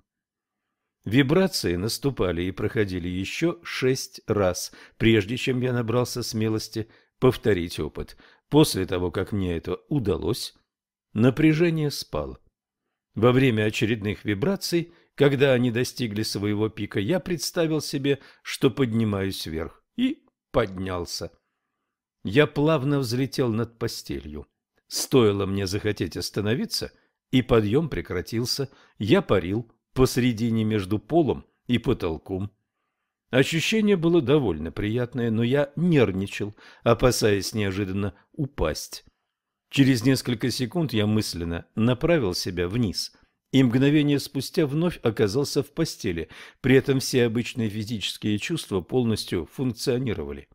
С того момента, как я лег в постель, и до тех пор, когда я встал по окончании вибраций, никакого перерыва в сознании не было. Я пребывал в растерянности. Что это? Реальность, галлюцинация, сон? Я не мог определить момент, когда кончилось бодрствование и началось сновидение. Психиатрических больницах содержатся тысячи людей, перед которыми стоит та же проблема – когда я во второй раз попробовал осознанно отделиться от тела, у меня снова получилось. Я опять поднялся в воздух на высоту потолка, однако на этот раз я ощутил потрясающие силы сексуальное влечение и не мог думать ни о чем, кроме секса. Растерянный и раздраженный своей неспособностью контролировать этот прилив эмоций, я вернулся назад физическое тело. Лишь спустя еще пять попыток я открыл секрет контроля. Бесспорное значение сексуальности во всем этом деле столь велико, что подробнее я опишу его в последующих главах. Поначалу же она была для меня вызывающим раздражение ментальным препятствием, не дававшим мне выйти за пределы комнаты, где лежало мое тело. За неимением иного подходящего термина я стал называть то, что со мной происходило – вторым состоянием, а другое, не физическое тело, которым мы, по-видимому, обладаем, вторым телом. Пока что эти термины кажутся мне наиболее удачными. Только после первого, наглядного, поддающегося проверке опыта, я стал всерьез допускать, что все это не просто сны наяву, галлюцинации, невротическая аберрация, начальная стадия шизофрении, фантазии, вызванные самогипнозом, а то и что-нибудь похуже. Этот первый наглядный опыт нанес мне поистине сокрушительный удар. Признание его реальностью опрокидывало практически все мое знание жизни, накопленное к тому времени, все, чему меня учили, мои представления, мою систему ценностей. Больше того, это подрывало мою веру в полноту и достоверность научного знания, наработанного нашей культурой. Прежде я был уверен, что наши ученые знают ответы на все вопросы, или, по крайней мере, на большинство из них. И наоборот, отвергнуть очевидное, пусть для одного меня и никого больше, означало бы отвергнуть все то, что я ставил так высоко. Убежденность в том, что освобождение человечества и его прогресс определяются прежде всего его способностью познавать неизвестное с помощью разума и научного подхода. Такая вот дилемма встала передо мной. Я до сих пор не знаю, что это, дар ли неспосланный свыше, прикосновение ли волшебной палочки. Второе поиски и исследования. Что делать человеку, оказавшемуся перед лицом неведомого? Отвернуться и забыть? В случае со мной такой реакции препятствовали два фактора. Первый – самое обычное любопытство. Второй – как можно забыть или не замечать слона в гостиной. Или еще точнее, привидение в спальне. На другой чаше весов лежали конфликты и опасения, вполне реальные и осязаемые. Естественно, я страшно боялся того, что может произойти со мной, если такое состояние будет продолжаться и дальше. Гораздо больше, чем ухудшение физического здоровья, меня беспокоила опасность психического заболевания. Дабы развеять подобные опасения, я основательно занялся психологией, и завел знакомство среди психологов и психиатров. Однако я не решался обсуждать с ними свои проблемы, так как боялся, что тогда попаду в разряд их пациентов и потеряю ту доверительность в отношениях, которую гарантирует равенство, нормальность. С приятелями по бизнесу и соседями дело обстояло еще хуже. Они бы сочли меня за ненормального психопата – а это уже серьезно отразилось бы на жизни моей и моих близких. Наконец, видимо, надо было держать это в секрете, и от семьи незачем было подвергать домашних ненужным треволнениям. Лишь необходимость объяснить некоторые из моих странных действий вынудила меня раскрыть тайну жене. Поначалу она восприняла все это с недоверием, но иного выбора не было, и ей не оставалось ничего другого, как стать встревоженной свидетельницей таких происшествий и событий, которые резко противоречили ее религиозному воспитанию. Дети в то время были еще слишком малы, чтобы что-нибудь понимать. Позже все это стало для них обыденностью. Моя старшая дочь рассказывала, что однажды вечером после того, как они вдвоем с подружкой осмотрели пустую спальню колледжа, она сказала, «Папочка, если ты здесь выйди, пожалуйста, мы ложимся спать и сейчас будем раздеваться». В тот момент я находился в двухстах милях от того места и физически, и во всех иных смыслах.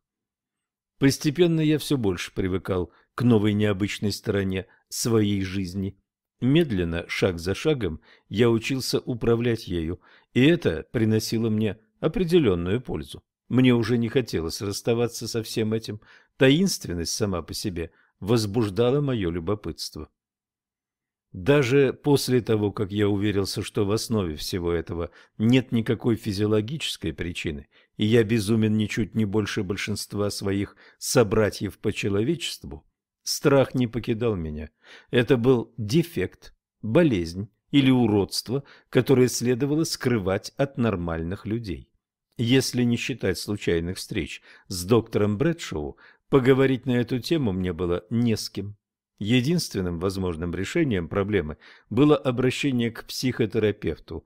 Однако целый год, а то и пять и десять лет ежедневных собеседований стоимостью в тысячи долларов, и притом без особых надежд на результат, на мой взгляд, это было лишено какого-либо смысла. Мне было очень одиноко в те первые дни. В конце концов я начал экспериментировать со своим странным отклонением, записывая в дневник каждый случай. Кроме того, я принялся читать такую литературу, которой до той поры в силу своей жизненной ориентации пренебрегал. Прежде религия не очень-то влияла на мой образ мыслей, теперь, похоже, она оказалась единственной областью знания о человеке, где мне осталось искать ответы на свои вопросы.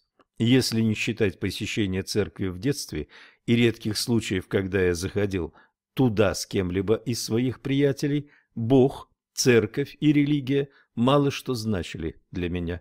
Вообще я никогда особо не задумывался над этими вопросами, так как они просто не вызывали у меня никакого интереса. При поверхностном чтении работ по древней и современной западной философии и религии я обнаружил лишь кое-какие неясные упоминания и общие места. Кое-что из этого походило на попытки описать или объяснить явления, сходные с теми, что происходили со мной. Много подобного материала давали Библия и христианские писания, но в них не указывались ни конкретные причины, ни способы исцеления. В лучшем случае давались советы молиться, медитировать, поститься, ходить в церковь, покаяться в грехах, уверовать в Троицу, Отца, Сына и Святого Духа, противиться злу или, наоборот, не противиться злу и предать себя в руки Божьи. Все это лишь усугубляло мое смятение. Если это новое в моей жизни явление было добром, то есть даром, то обладать им в соответствии с религиозными канонами мог лишь святой или, по крайней мере, подвижник. Я отчетливо понимал, что претендовать на святость у меня нет никаких оснований. Если же это зло, то тогда это работа дьявола или, во всяком случае, демона, пытающегося вселиться в меня, и без экзорцизма тут не обойтись. Ортодоксальные священнослужители официальной религии, с которыми я беседовал, вежливо, с различными оговорками, склонялись ко второму варианту. У меня было ощущение, что в их глазах я выгляжу опасным еретиком. Они держались настороженно. В восточных религиях, как и говорил доктор Брэдшоу, я обнаружил больше сведений на сей счет. В них много говорилось о существовании нефизического тела, но опять-таки утверждалось, что достижение этого уровня возможно лишь в результате огромного духовного развития. Только наставники, гуру и прочие святые люди, прошедшие долгую подготовку, обладали способностью временно покидать свои физические тела, чтобы получать неподдающиеся описанию мистические прозрения. Никаких подробностей и практических указаний относительно духовного развития не давалось. Подразумевалось, что в практике тайных культов, сект, ламаистских монастырей и так далее эти вещи общеизвестны. Если все это правда, то кто или что такое я? В любом случае, я слишком стар, чтобы заново начинать жизнь в тибетском монастыре. Одиночество становилось все острее. Ответов, очевидно, не найти нигде, в нашей культуре, по крайней мере.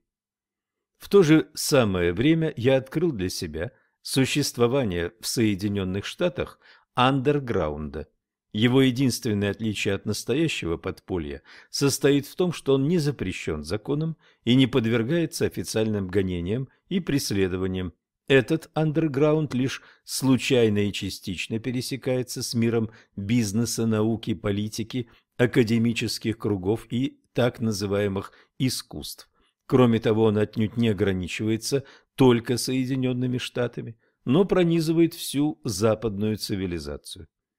Многие, возможно, кое-что слышали о нем или даже случайно соприкасались с его представителями, видя в них просто чудаков с эксцентричными идеями. Одно можно сказать наверняка – члены этого андерграунда, пользующиеся в своей среде авторитетом, будут говорить с вами о предмете своих интересов и веры только в том случае, если вы тоже принадлежите к их клубу. Они на опыте познали, что откровенность влечет за собой осуждение со стороны священников, клиентов, работодателей и даже друзей. Я подозреваю, что число участников андерграунда, если бы они вдруг решились признаться в своей принадлежности к нему, составило бы несколько миллионов.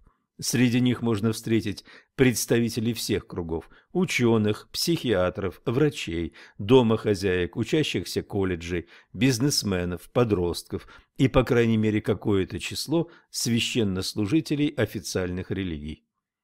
Этот слой людей отвечает всем признакам подпольного движения. Они собираются маленькими группами где-нибудь в уединении и часто наполовину тайно – о таких встречах нередко помещается публичное объявление, но чтобы сообразить, о чем в нем идет речь, надо быть в курсе. Дела андерграунда обычно обсуждаются только с другими его членами, за исключением семьи или близких друзей, которые, возможно, сами в нем состоят, никто из окружающих не знает о тайных интересах и жизни его участников. Если вы спросите такого человека, он начнет отрицать свое членство, поскольку зачастую сам не отдает себе отчета в том, до какой степени он вовлечен во все это. Все участники как чувствами, так и разумом весьма преданы своему делу. Наконец, у андерграунда есть собственная литература, язык, технология и в каком-то смысле свои полубоги. В настоящее время этот андерграунд крайне не организован. Вообще-то никакой организации в общепринятом смысле нет вовсе.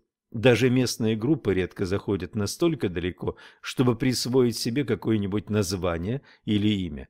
Пока что они представляют собой маленькие, но регулярные собрания, проводимые в чьей-либо гостиной, в конференц-зале банка или, что тоже вполне возможно, в доме какого-нибудь пастора.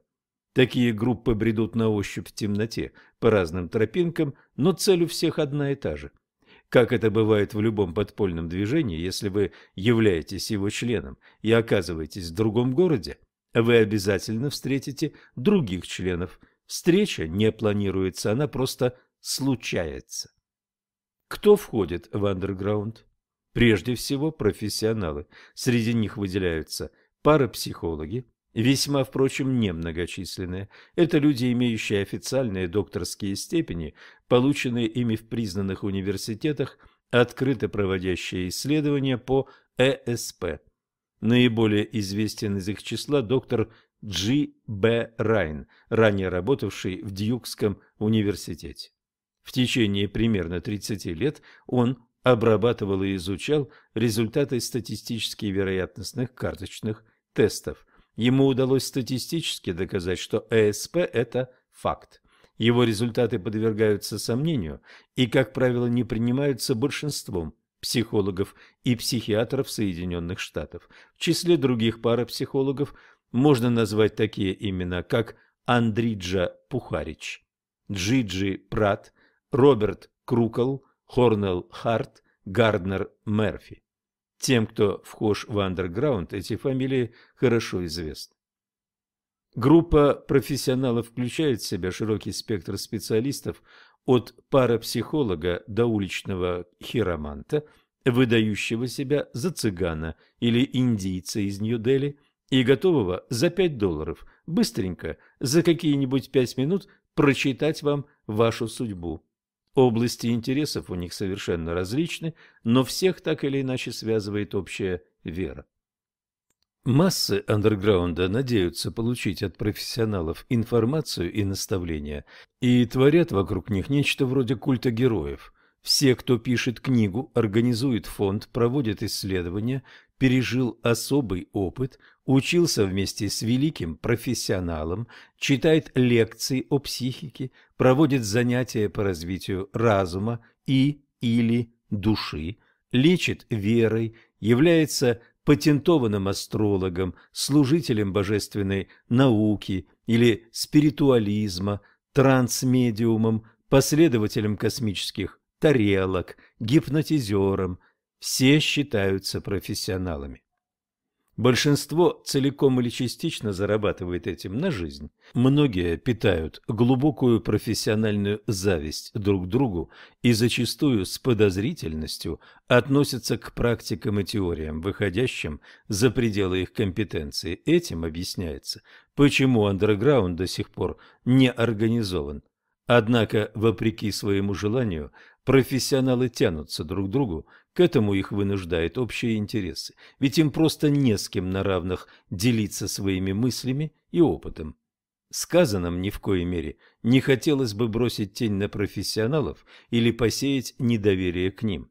Это на редкость прекрасные и удивительные люди.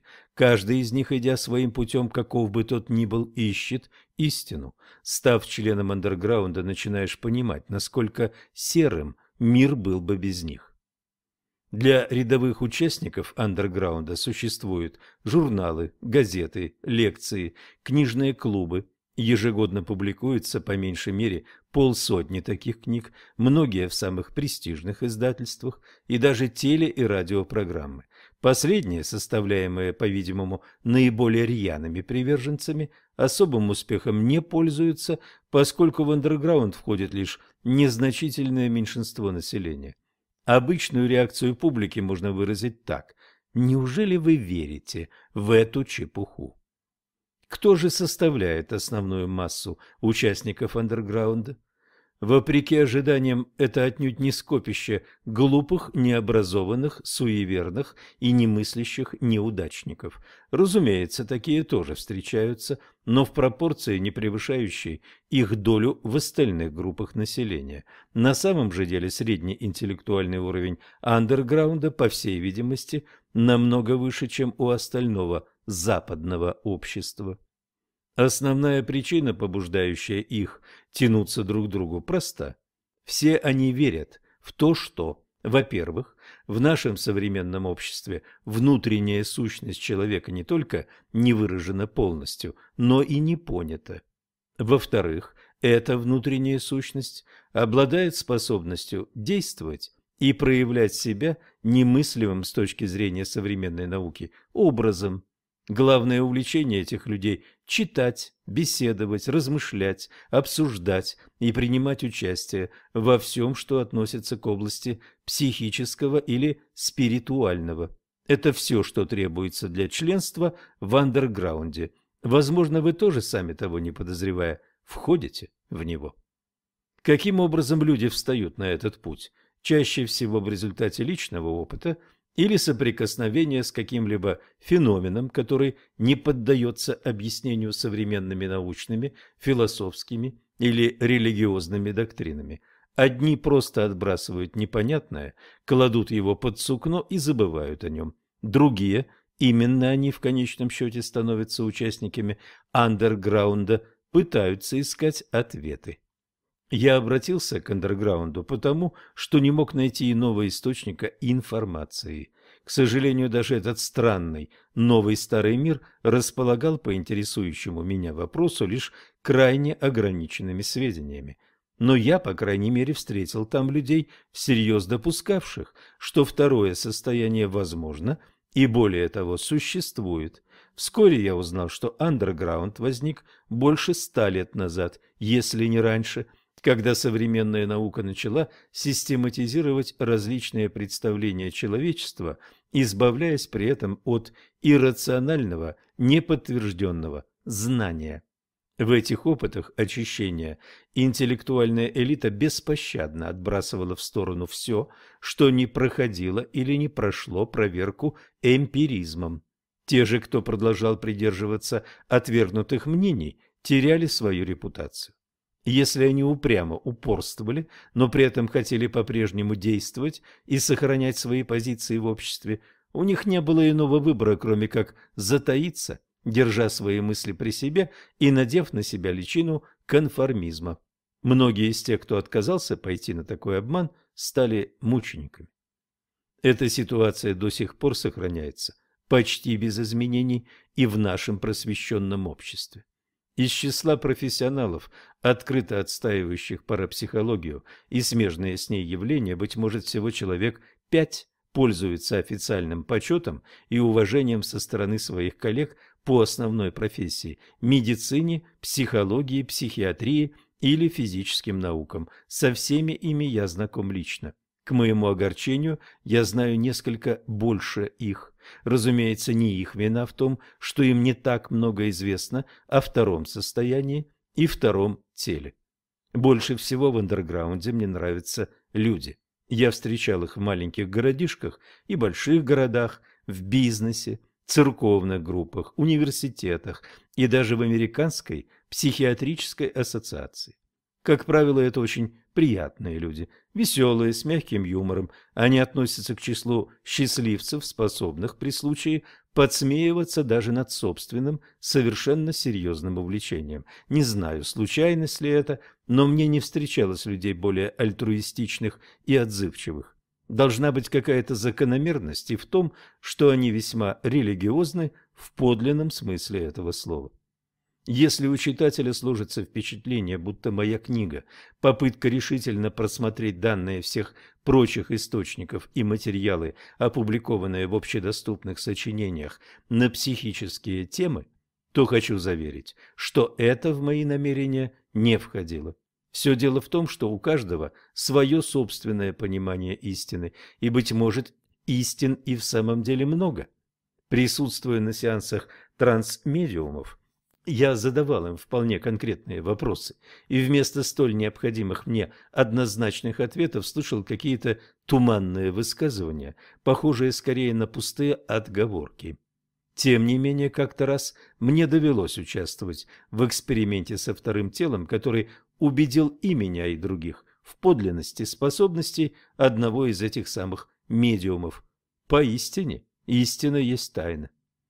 Деятельность Эдгара Кейси, подлинного святого психического мира наших дней, без сомнения была наиболее впечатляющей и хорошо изученной, оставаясь при этом совершенно невероятной с точки зрения современной науки и медицины. Похоже, то было откровение истины, и история просто не решилась зафиксировать ее в явном виде. О том, как работали его способности и что это был за феномен, мы сегодня знаем столь же мало, как и в день его смерти, два десятка лет тому назад. Тем не менее, кейсовские записи помогли мне, хотя спроецировать их на конкретные проблемы второго состояния и оказалось делом чрезвычайно трудным. Его существование он подтверждал, но никаких пояснений не давал. Сведения Кейси по этому вопросу в значительной степени окутаны флером сильной религиозности, что открывает простор для интерпретаций. Восполнить эти пробелы пытаются появляющиеся один за другим толкователи, священнослужители, знак вопроса, Кейси. Даже сейчас есть люди, которые могут совершать нечто подобное тому, что делал Кейси.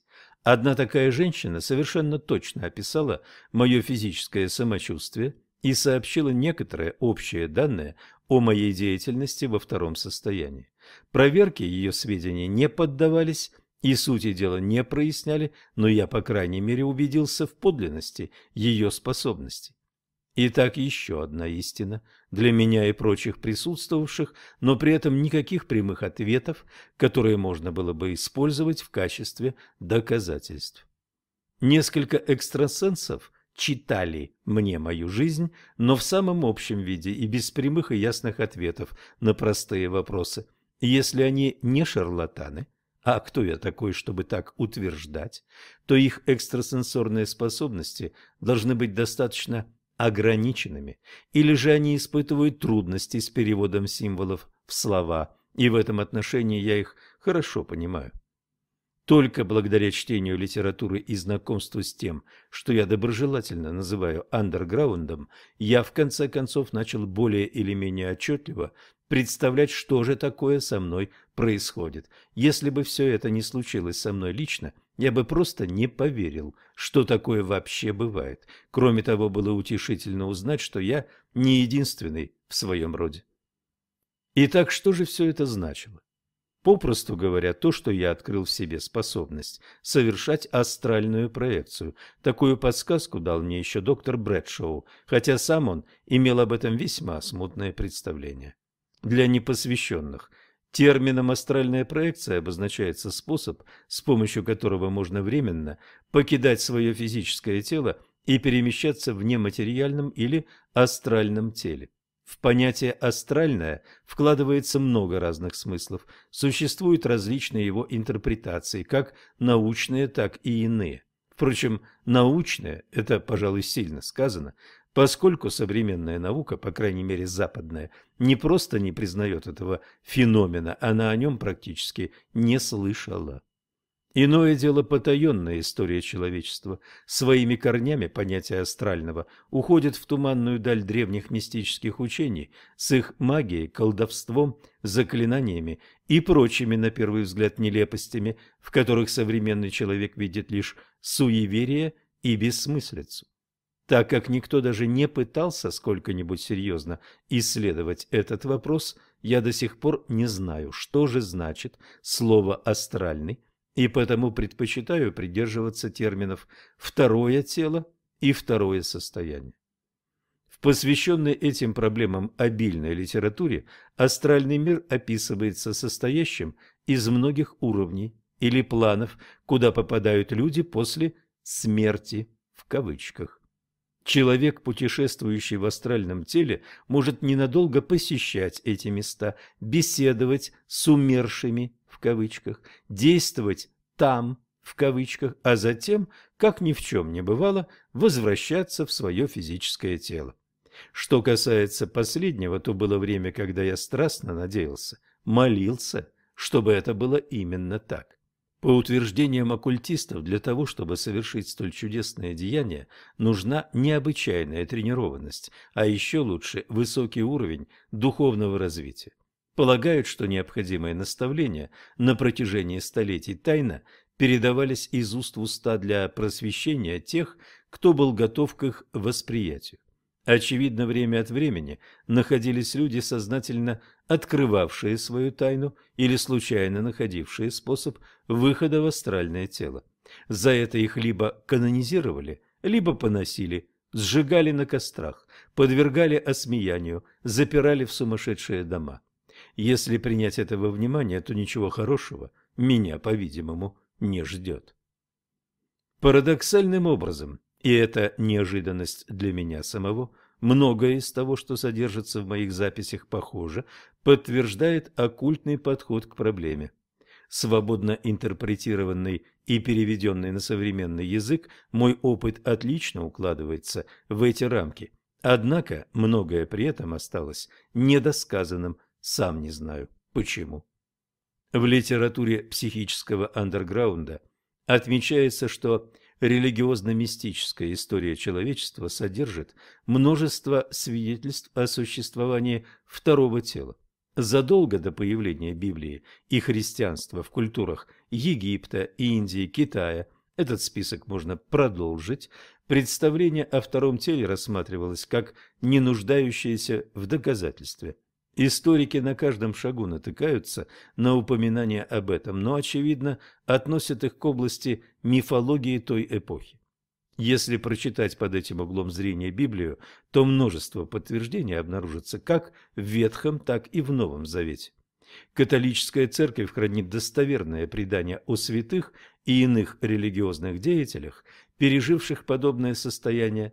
Кое-кто из них мог вызывать его по своему желанию. Даже среди протестантов встречаются особо ревностно верующие, сообщающие о внетелесном опыте, пережитом ими во время религиозного экстаза. На Востоке понятие второго тела долгое время считалось естественным, и не противоречащим реальности. Впрочем, это тема для самостоятельного исследования.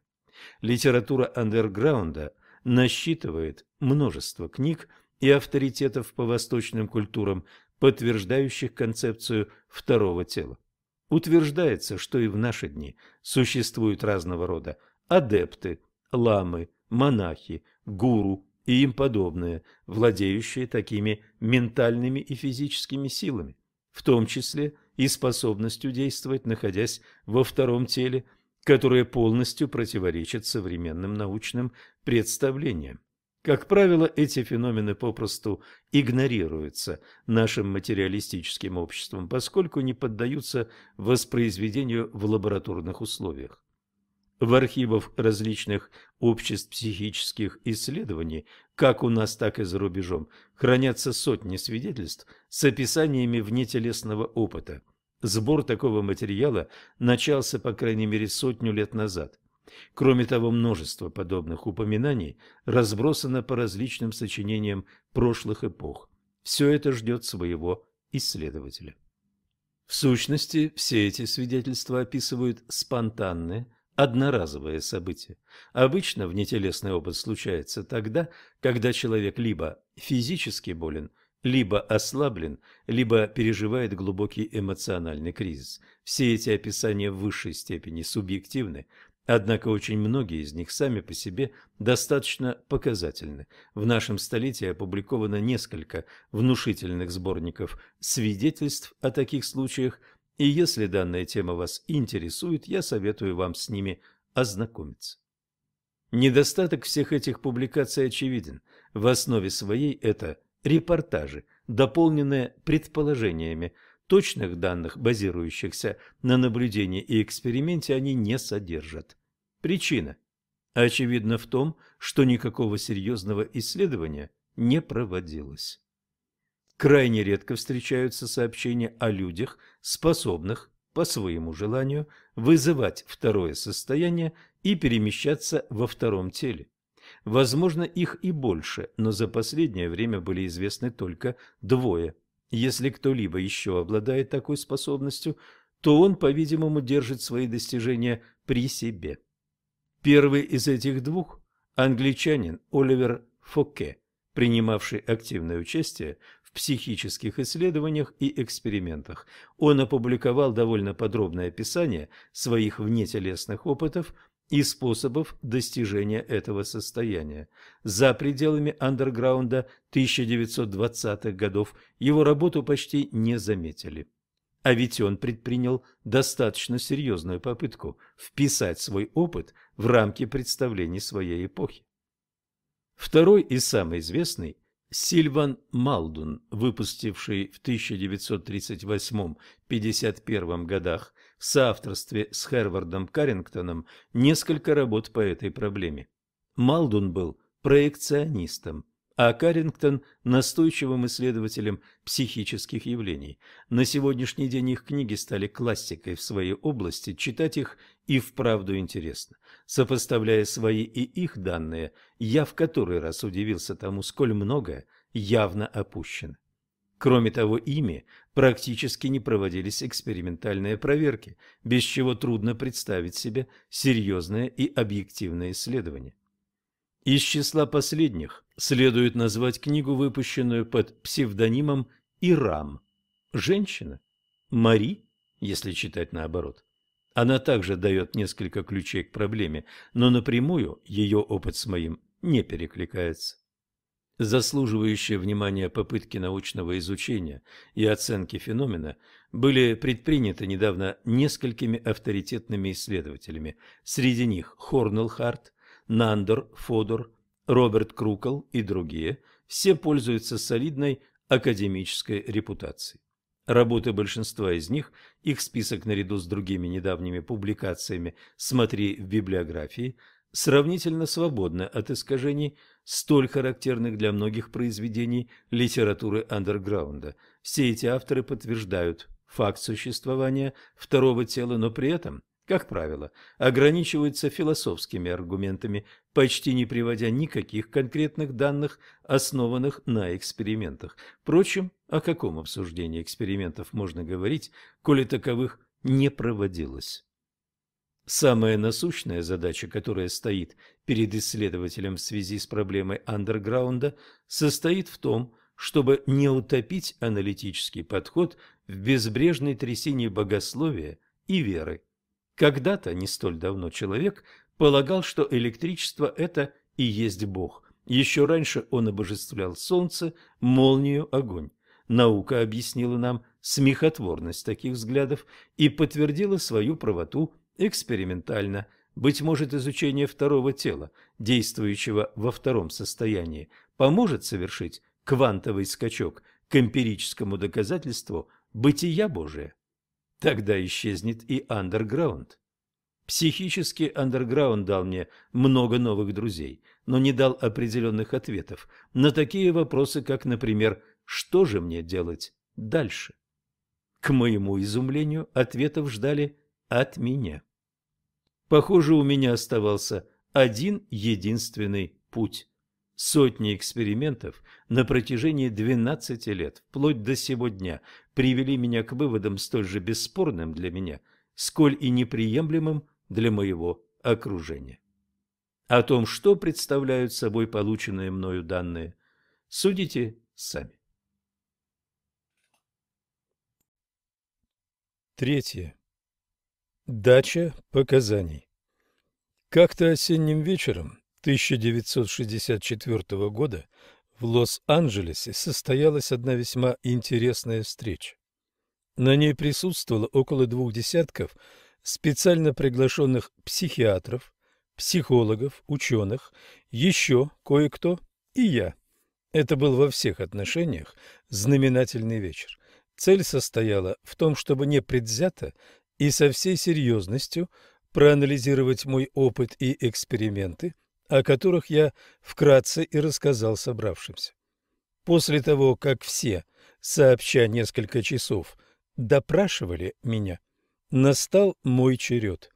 Я задал два простых вопроса, адресовав их каждому из присутствовавших. Что бы вы делали, если бы то, что происходит со мной, случилось с вами? Большинство, более двух третей, высказались вполне определенно. Нужно приложить все усилия для продолжения экспериментов в надежде, что они углубят и расширят знания человека о себе.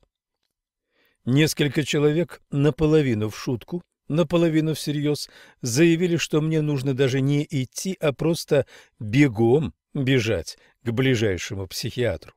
Впрочем, своих услуг никто из присутствующих не предложил.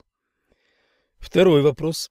Согласились ли бы вы лично участвовать в экспериментах, которые помогли бы вам обрести столь необычные способности? На этот раз реакция оказалась несколько иной. Примерно половина выразила согласие. Удивительно, но среди них я заметил кое-кого из наиболее активных скептиков, больше других сомневавшихся в реальности того, о чем я сообщал. При этом я, конечно, не удержался, чтобы слегка не проехаться по тем, кто высказался за продолжение экспериментов, но отрицательно ответил на второй вопрос. Выходит, когда нужно лезть в холодный омут, пусть это делает другой. Впрочем, я не хочу никого укорять. Если бы 12 лет назад перед таким выбором поставили меня, не уверен, что я бы согласился. Вообще, почему столь представительная группа специалистов дала себе труд собраться на эту встречу? Пожалуй, из любопытства. А может быть, все дело в том, что к тому моменту накопилось какое-то количество достаточно убедительных фактов. Хотелось бы надеяться, что причина в этом. Ниже следуют ключевые фрагменты моих записей, вызвавшие интерес специалистов. 10 ноября 1958 года, после обеда.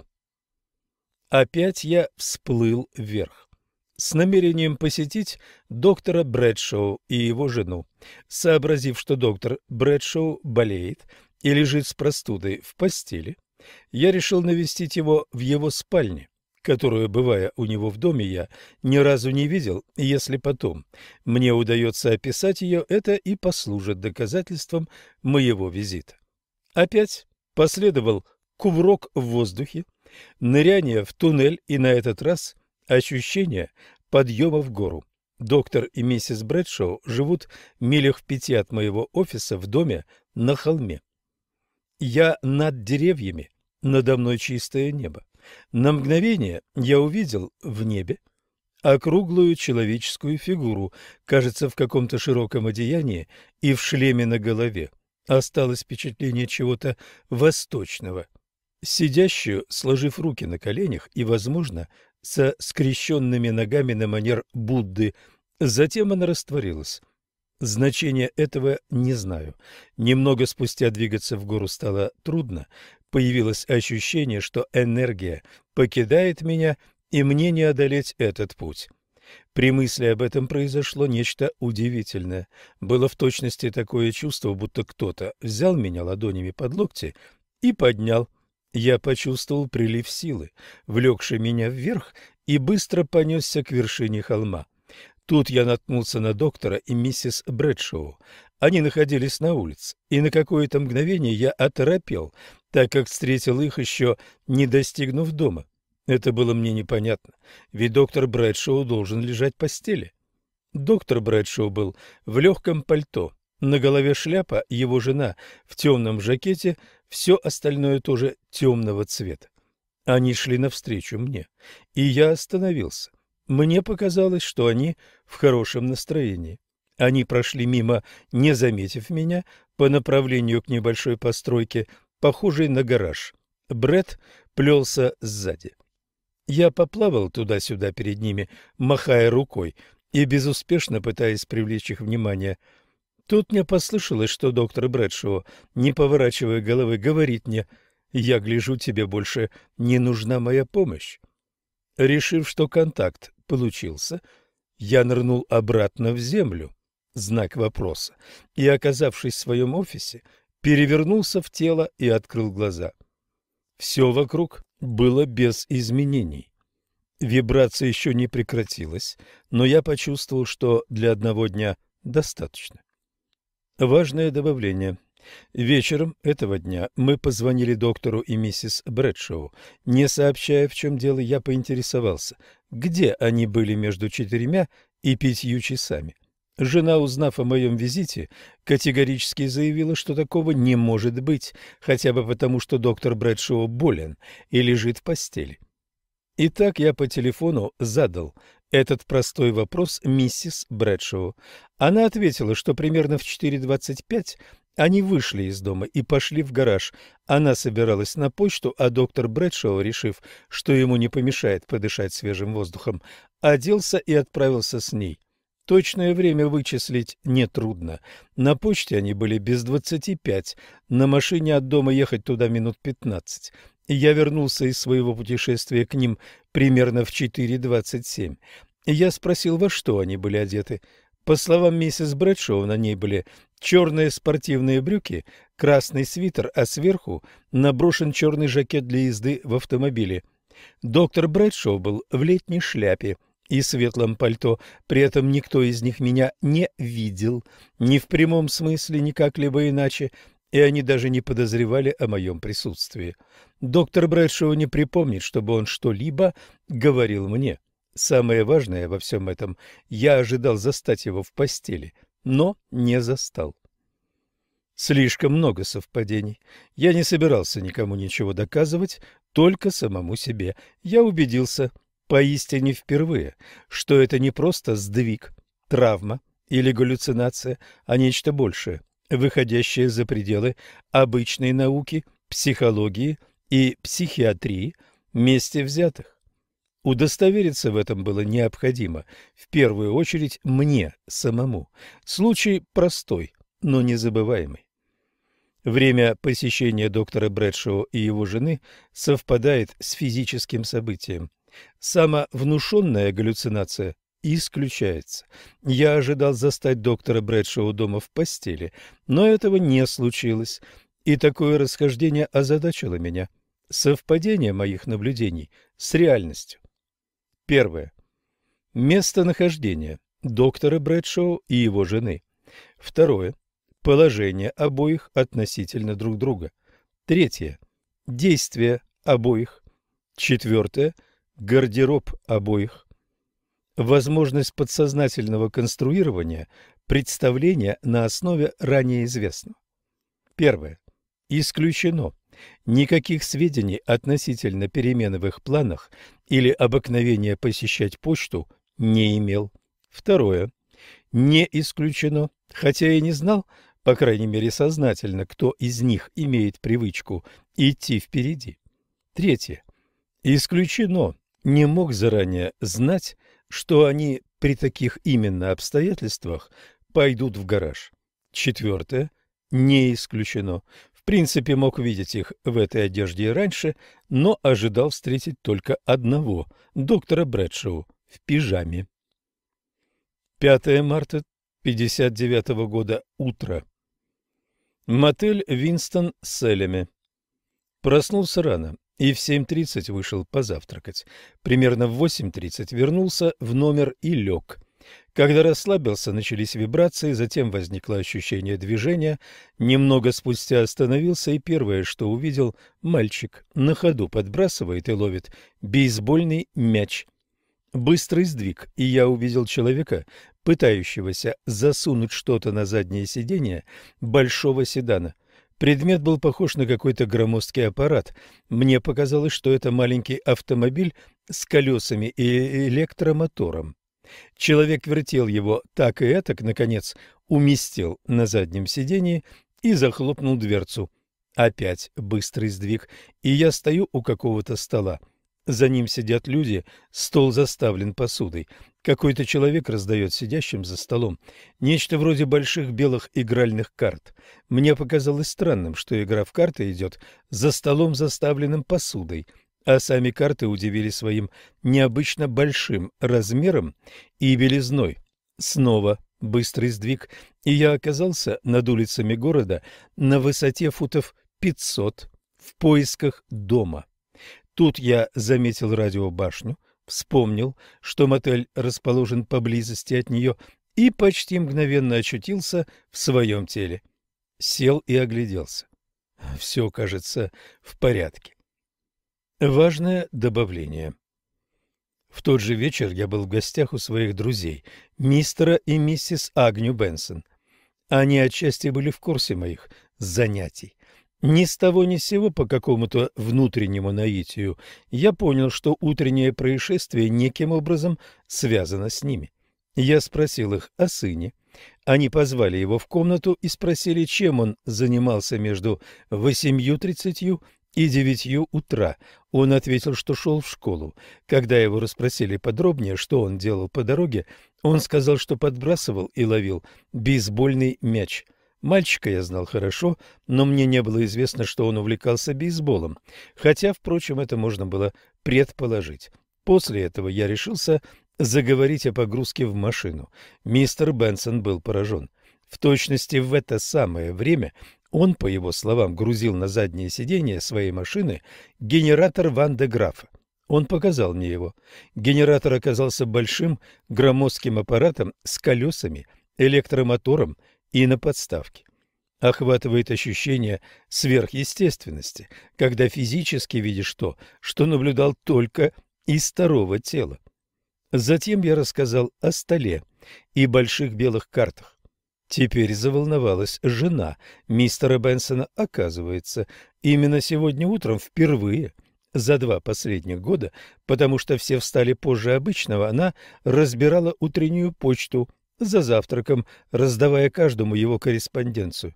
Вот они, большие белые игральные карты. Хозяева были очень взволнованы этим случаем, и я убежден, не подыгрывали мне.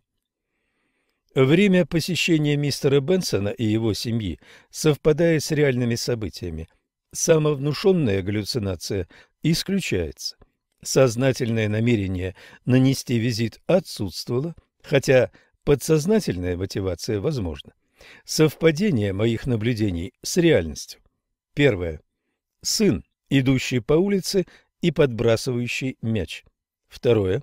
Мистер Бенсон у машины. Третье. Действие мистера Бенсона у машины. Четвертое. Аппарат, с которым он был у машины. Пятое. Действие миссис Бенсон за столом. Раздача карт. Шестое. Размер и белый цвет карт. Седьмое. Посуда на столе. Возможность подсознательного конструирования представления на основе ранее известного. Первое. Исключено. Не знал об интересе сына к бейсболу, кроме того, не представлял, что он мог делать в тот момент. Второе. Исключено. Ничего не знал о действиях мистера Бенсона утром у машины. Кроме того, данное действие не является частью его повседневных занятий. Третье. Исключено. Как уже сказано, это погрузка в машину нетипично для занятий мистера Бенсона и потому нечто подобное не могло наблюдаться мною прежде. Четвертое. Не исключено. Возможно, когда-либо раньше я видел такой аппарат, но только не в данном месте.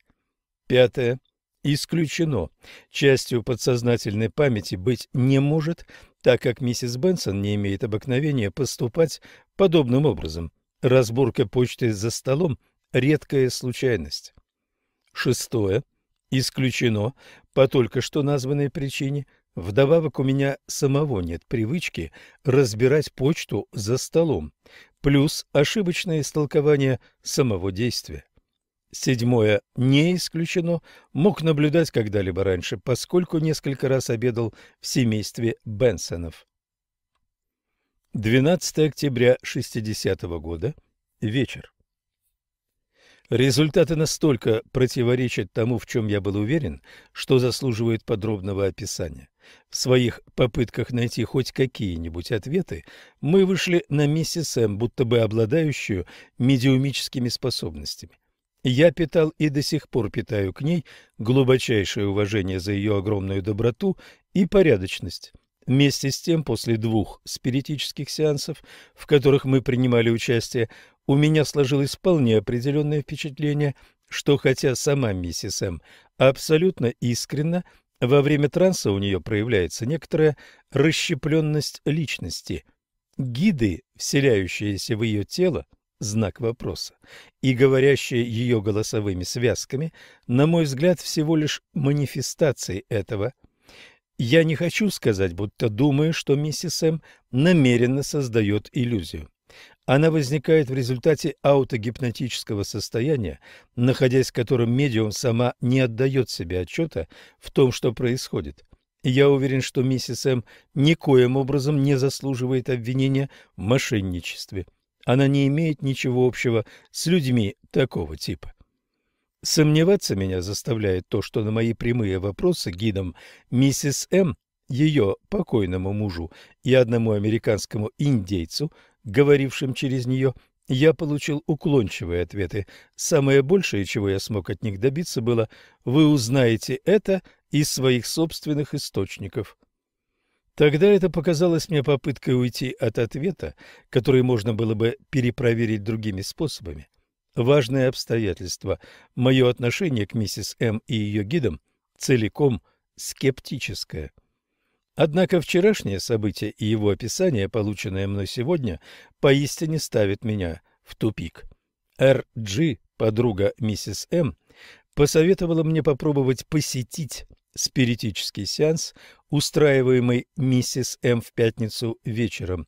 Вчера в одной нью-йоркской квартире. Я с неохотой согласился, заявив, что совсем не уверен в осуществимости этого. К пятнице обещание, надо признаться, вылетело у меня из головы, по крайней мере, из сознания. А теперь о том, что же произошло. Самый обычный вечер дома. Примерно в половине двенадцатого мы с женой легли спать. Жена, судя по ровному и глубокому дыханию, заснула почти сразу. Я же лежал, по-видимому, глубоко расслабившись и, возможно, в полусне. Вдруг я почувствовал, что называется могильный холод, от которого волосы на затылке начали подниматься дыбом. Испуганный и в то же время словно глубоко зачарованный, я оглядел полутемную комнату. Не знаю, что я ожидал обнаружить, но в дверях, ведущих в холл, я увидел белую фигуру наподобие призрака. Она смотрелась как самое настоящее привидение, футов шести ростом, с ног до головы закутанная во что-то вроде простыни. Одной вытянутой рукой она держалась за косяк. Я был настолько перепуган, что не имел возможности хоть немного поразмыслить, существует ли связь между фигурой и какими-либо моими действиями. Когда она направилась в мою сторону, я весь сжался от почти целиком охватившего меня ужаса, но в то же время чувствовал, что я должен разобраться, что все это значит. Почти тут же я ощутил на своих глазах ладони и потерял способность видеть. Несмотря на страх, я настойчиво пытался убрать руки с лица, пока, наконец, фигура-призрак не оказалась рядом с постелью на расстоянии меньше фута от меня. Тут кто-то мягко взял меня за плечи, и я поднялся над постелью. Я сразу же успокоился, очевидно, потому что почувствовал, что бы это ни было, это на благо. Я не боролся и не сопротивлялся. Тотчас появилось мимолетное ощущение движения, и мы, тут я почувствовал, что их двое, по одному с каждого бока, внезапно очутились вверху какой-то небольшой комнаты, разглядывая ее словно с потолка. Внизу находились четыре женщины. Я взглянул на двух существ по бокам от меня. Один был блондином мужского пола, второй темноволосый, почти восточного облика. Оба выглядели совсем молодо, лет по двадцать с небольшим. Они улыбались мне. Я заговорил с ними, попросив извинения за свою реакцию, вызванную незнанием того, что делаю. Затем я плавно опустился вниз на единственный свободный стул и уселся на нем. Напротив меня сидела высокая крупная женщина в темном костюме. Рядом сидела другая в чем-то похожем на длинное белое платье до лодыжек. Двух других я видел смутно. Женский голос спросил, запомню ли я, что был здесь, и я заверил спрашивающую, что наверняка запомню. Другая женщина спросила что-то о раке, но это все, что я смог разобрать. Затем одна из женщин, проходя через комнату, задела за мой стул и плюхнулась прямо на меня. Я не почувствовал ее веса, но она почему-то тут же встала. Раздался смех но моя голова была занята другим. Очевидно, контакт, севший на меня женщиной, все спутал. В тот самый момент я услышал мужской голос. «По-моему, он слишком долго отсутствует. Лучше отправить его назад». Я разрывался между желанием уйти и остаться, но спорить не стал. Почти мгновенно я вернулся назад и оказался лежащим в своей постели. Все было нормально, если не считать, что жена все это время бодрствовала, по ее словам, я сначала то задыхался, то стонал и всхлипывал, потом стал дышать еле-еле, а может быть и совсем перестал. Кроме этого, она ничего не видела и не слышала, если не считать того, что наша кошка, спавшая у нас в комнате, вела себя страшно беспокойно. Жена сильно переволновалась и переживала за меня. Уверен, случись такое с ней, я бы чувствовал то же самое. Встреча, конечно же, требовала проверки, поэтому я позвонил RG и кое-что узнал. Во-первых, на сеансе присутствовали четыре женщины. По моей просьбе они собрались в той же самой квартире, в очень маленькой гостиной, одетые в ту же одежду. Женщина в темном костюме оказалась именно такого телосложения, как я и видел, и она нечаянно села на стул, предназначенный для меня. Это произошло позже вечером, после половины двенадцатого, когда сеанс был уже давно закончен, и все четверо сидели и беседовали. Высокая женщина подскочила с моего стула, когда остальные воскликнули «Не садись на Боба!». Они рассмеялись этой шутке. Одна из женщин была одета в длинное белое домашнее платье. Вопрос ко мне, запомню ли я свое посещение, вслух не задавался снова. Коммуникация через сверхразум? Но зато одна из женщин сообщила, что на следующий день должна работать в раковом мемориал-хоспитале. Двух других женщин, миссис М и Р. Джи, я встречал раньше, но две описанные выше были мне незнакомы. Четыре женщины, одежда двух из них, телосложение одной, мое сидение на стуле, сидение на мне и вскакивание, смех, маленькая комната, упоминание о раке, Совпадений слишком много даже для меня. Настолько здорово галлюцинировать я тоже не способен, в этом я уверен. Но вот двое мужчин. Действительно ли миссис М может вступать в контакт со своим покойным мужем и индейцем? Только после этого случая я узнал, что ее муж был блондином. Надо мыслить шире и питать меньше скепсиса по отношению к миссис М. Время посещения квартиры совпадает с физическим событием. Самовнушенная галлюцинация не исключена, поскольку мысль о визите могла сохраниться у меня в подсознании, хотя я никаких попыток к этому не предпринимал. Совпадение моих наблюдений с реальностью. Первое. Размер комнаты. Второе. Число присутствующих женщин. Четыре. Третье. Пустой стул. Четвертое. Гардероб двух женщин. Пятое. Упоминание о раке. Шестое. Действие женщины, севшей на стул. Седьмое. Смеховая реакция группы. Возможность подсознательного конструирования представления на основе ранее известного. Первое. Исключено. Раньше эту квартиру не посещал, с ее описанием знаком не был. Второе. Не исключено, Р.Джи могла упомянуть, сколько человек должно было присутствовать. Третье. Исключено. Мысль оставить для меня пустой стул возникла в группе только вечером, когда проводился сеанс. Четвертое. Исключено. Никогда ранее этих женщин не встречал и не видел, во что они одеты. Пятое. Исключено. По той же причине не мог знать о работе незнакомой мне женщины в раковом мемориал-хоспитале. Шестое. Исключено, поскольку действие было непроизвольным. Седьмое. Исключено реакция окружающих была спонтанной. 15 августа 63 года после обеда. Очень удачный эксперимент после долгого перерыва. Р.У. женщина-бизнесмен, которую я давно и хорошо знаю по совместной работе, мой близкий друг, осведомленная о моих занятиях, до сих пор, правда, настроенная скептически, хотя и принимала в них невольное участие, уехала на этой неделе в отпуск на побережье Нью-Джерси. Точных координат ее места пребывания не знаю. Об эксперименте ей тоже не сообщал по той простой причине, что решение провести его принял только сегодня, в субботу. Сегодня после обеда лег с намерением возобновить экспериментирование и приложить все силы, чтобы попробовать навестить РУ, где бы она ни находилась. Правило номер один выведенное мною из опыта, состоит в том, что чаще всего успех приходит тогда, когда я хорошо знаю того, к кому отправляюсь, а такая возможность представляется не слишком часто. Около трех часов дня я лег в спальне, применил модель релаксации, почувствовал тепло, вибрации высокого уровня, затем настойчиво принялся мысленно вызывать у себя желание отправиться к РУ. Появилось знакомое ощущение движения через светло-голубое затуманенное пространство. Затем я оказался в каком-то помещении, похожем на кухню. Р.У. сидела в кресле справа.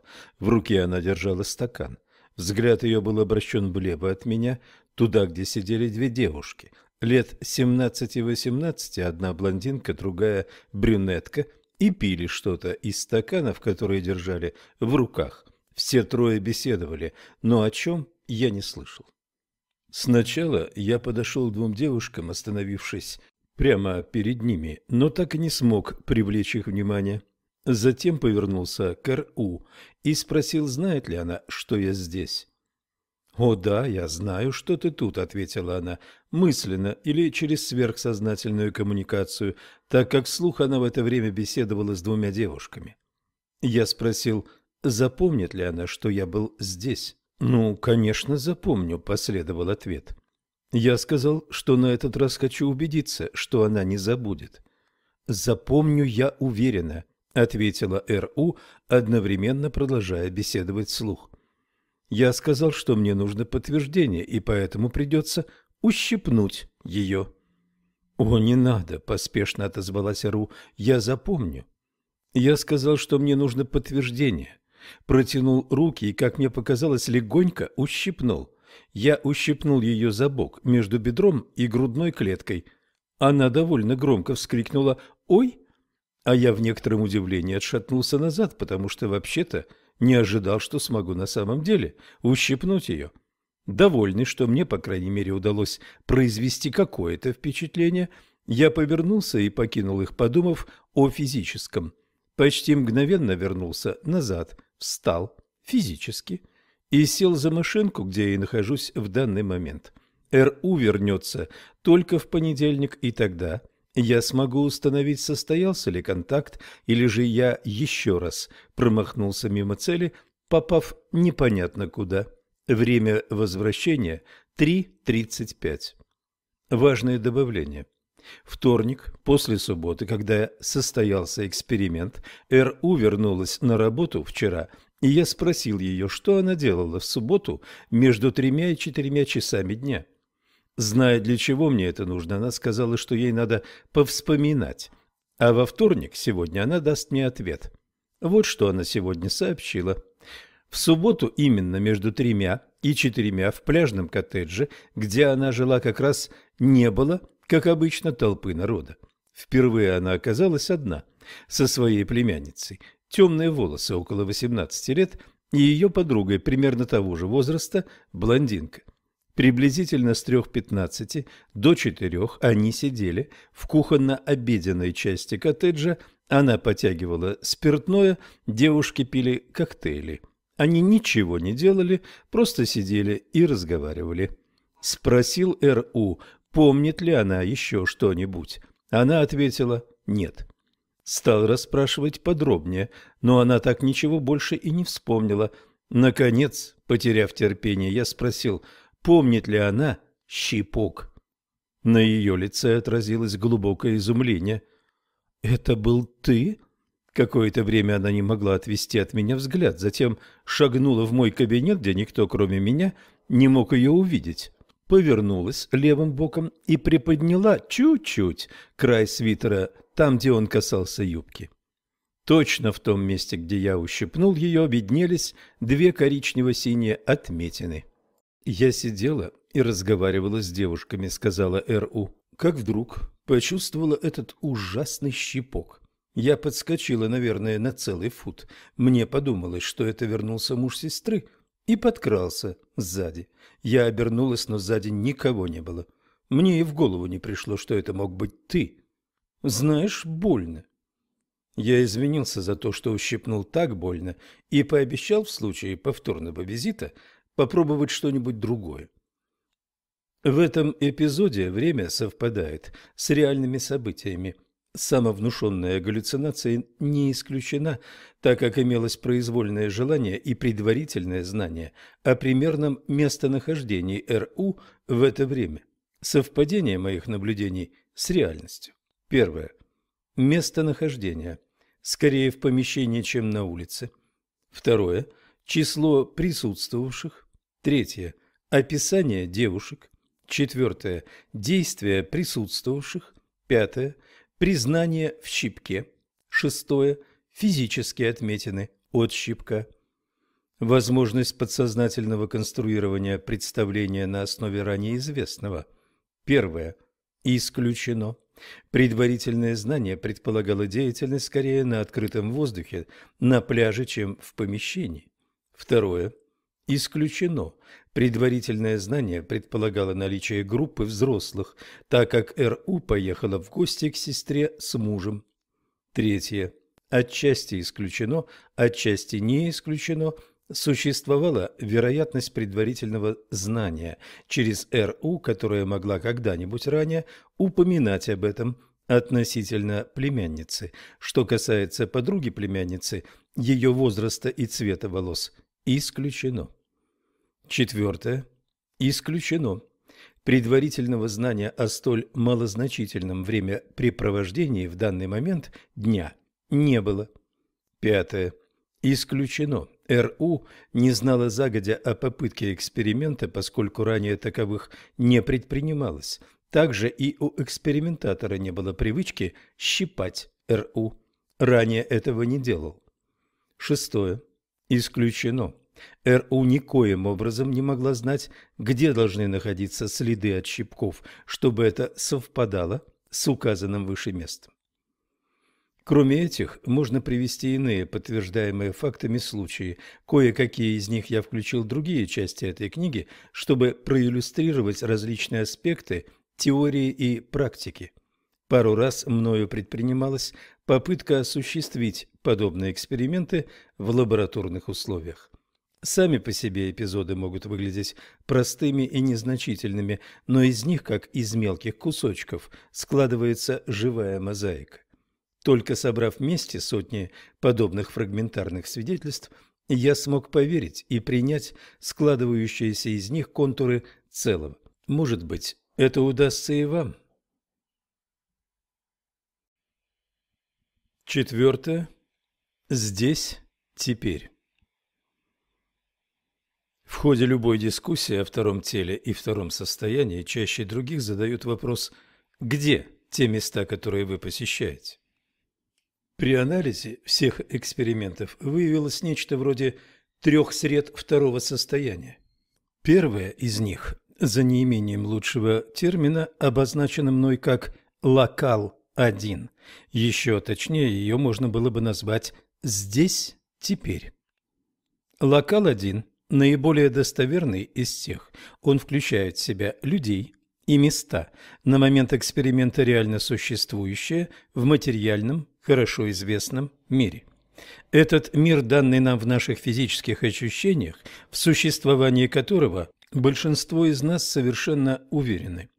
Локал-1 при посещении его во втором теле обычно не содержит необычных существ, мест или событий. Незнакомых – возможно, но необычных и неведомых – нет. Если таковые все же встречаются, это следствие искаженного восприятия. Отсюда следует, что свидетельства, доступные проверке обычными методами, могут быть получены при перемещении второго тела только в локале 1. Именно там проводились все эксперименты, описанные в главе 3. При этом опытов этой категории по сравнению с общим количеством записанных мной экспериментов досадно мало. На первый взгляд все выглядит довольно просто. Выйти из физического тела во второе, затем навестить Джорджа, вступить с ним в контакт, вернуться назад в физическое тело и все это описать. На самом деле ничего подобного. Если бы все было так просто. В то же время факторы, препятствующие этому, познаваемы. Познание какой-либо проблемы предполагает то или иное окончательное ее решение, и, возможно, так и произойдет и в данной области. Возьмем сначала факторы направления и идентификации. Предположим, для примера, что, находясь в полном сознании и при своем физическом теле, вы вместо того, чтобы пойти по земле или ехать в машине, оказались вдруг в состоянии летать по воздуху. Открыв у себя такую способность, вы решили слетать домой к Джорджу, чтобы продемонстрировать свое умение. Ваш дом или лаборатория находятся на окраине большого города, а Джордж живет в районе, расположенном в другом конце. И вот в солнечный полдень вы трогаетесь в путь. Естественно, вы поднимаетесь повыше, чтобы избежать таких препятствий, как деревья, здания и так далее. Чувствуя себя неуверенно, вы не забираетесь слишком высоко, ведь вам нужно опознать ориентиры, которые с высоты 5000 футов разглядеть было бы трудно. Поэтому вы берете пониже, футов сто над землей. Так, куда же теперь? Вы высматриваете что-нибудь знакомое. И тут-то до вас доходит вся трудность положения. Вы не знаете направления к дому Джорджа, да если бы и знали, это не помогло бы, ведь у вас нет компаса. Бесстрашно вы решаете отправиться напрямик через город, ориентируясь по знакомым зданиям и улицам. Вы много раз ездили этим маршрутом на машине, поэтому легко должны найти дорогу. Вы трогаетесь путь над домами и улицами и почти сразу же останавливаетесь в замешательстве. Оглядываясь назад, вы уже с трудом находите свой собственный дом даже с близкого расстояния. Через мгновение вы понимаете, в чем дело. Ведь вы человек земной и смотрите на мир с высоты ниже шести футов. Чаще всего мы по привычке глядим прямо вперед или вниз, лишь случайно. Когда что-либо привлечет наше внимание, мы поднимаем взор вверх. Но даже такой взгляд снизу вверх имеет мало общего с панорамой, открывающейся с высоты 100 футов. Прикиньте, сколько времени вам потребуется, чтобы узнать свой собственный дом на фотографии, снятой с воздуха прямо над ним. То же самое относится ко всему будто бы знакомому окрестностям, улицам, зданиям, городам и людям. Вы можете попасть к дому Джорджа, но это займет много времени. Вы можете не узнать его с расстояния в 50 футов, потому что привыкли видеть его только спереди. А сейчас приблизились к нему сзади. Не вы одни подвержены подобным промахам. Пилоты самолетов при ясной погоде на низкой высоте теряются – в двух милях от аэродрома. Стоит им отвлечься лишь на мгновение, как все снизу начинает казаться незнакомым, и вновь сориентироваться можно лишь с помощью навигационных приборов. Легко понять, насколько все усложняется, если ваш друг живет в другом городе, довольно далеко, где вы не только никогда не бывали, но и не видели его дома даже на фотографии. Конечно, если он нарисует желтой флуоресцентной краской букву «Х» на крыше, поставить специальный фонарь мощностью в 10 миллионов свечей, да подобным же образом разметит весь маршрут по улицам и шоссе, вы, быть может, и найдете дорогу. Теперь попробуем проделать тот же путь во втором теле и сравним. Итак, вы плывете по воздуху на высоте 100 футов, на этот раз вне физического тела. День ясный и солнечный, но ваше зрение несколько дезориентировано, ибо вы не совсем еще привыкли к тому, как вы видите.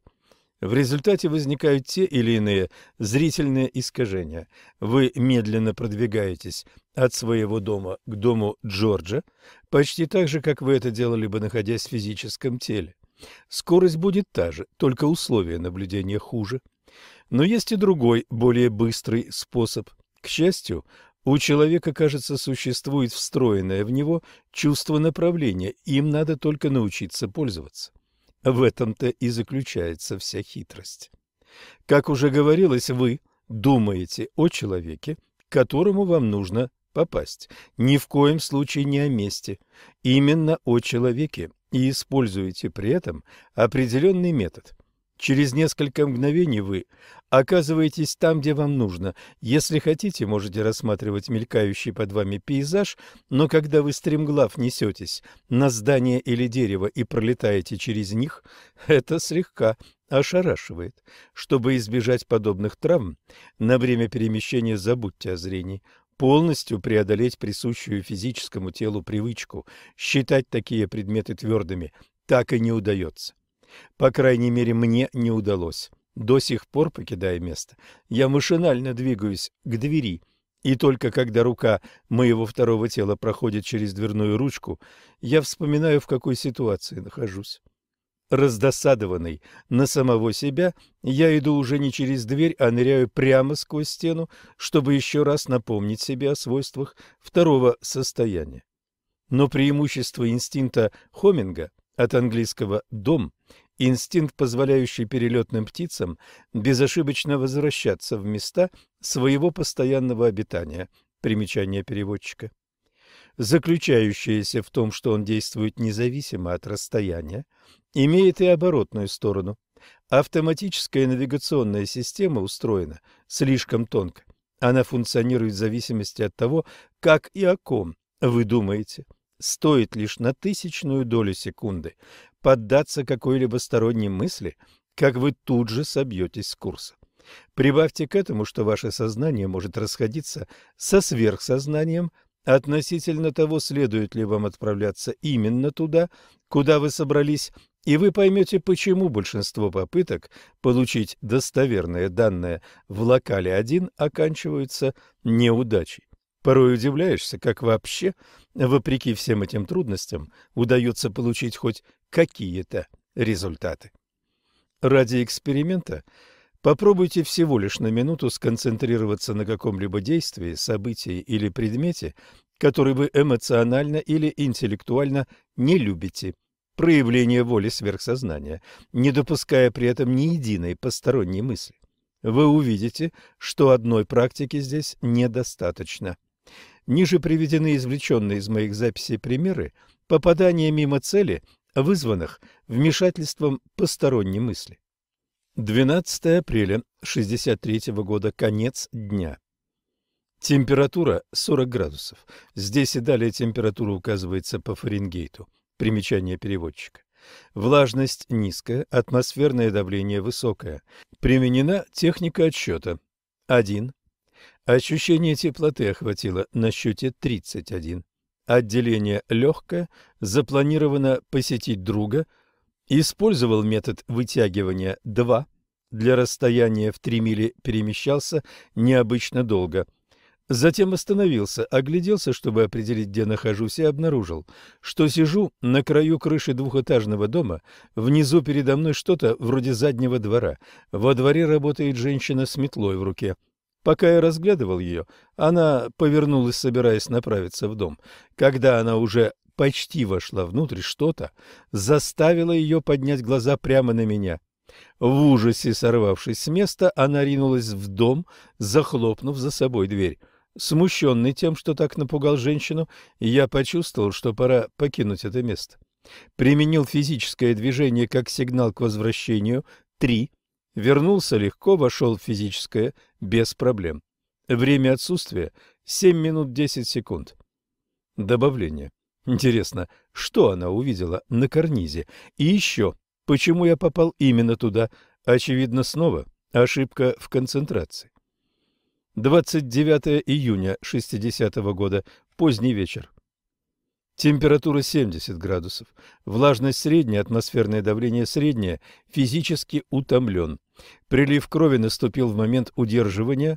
Перед засыпанием запланировано посетить доктора Андриджу Пухарича, где-то в Калифорнии. Передвигался вслепую недолго, затем остановился. За столом сидят четыре человека, трое мужчин и мальчик лет одиннадцати. Доктора Пухарича здесь явно нет, разве что ситуация какая-нибудь необычная.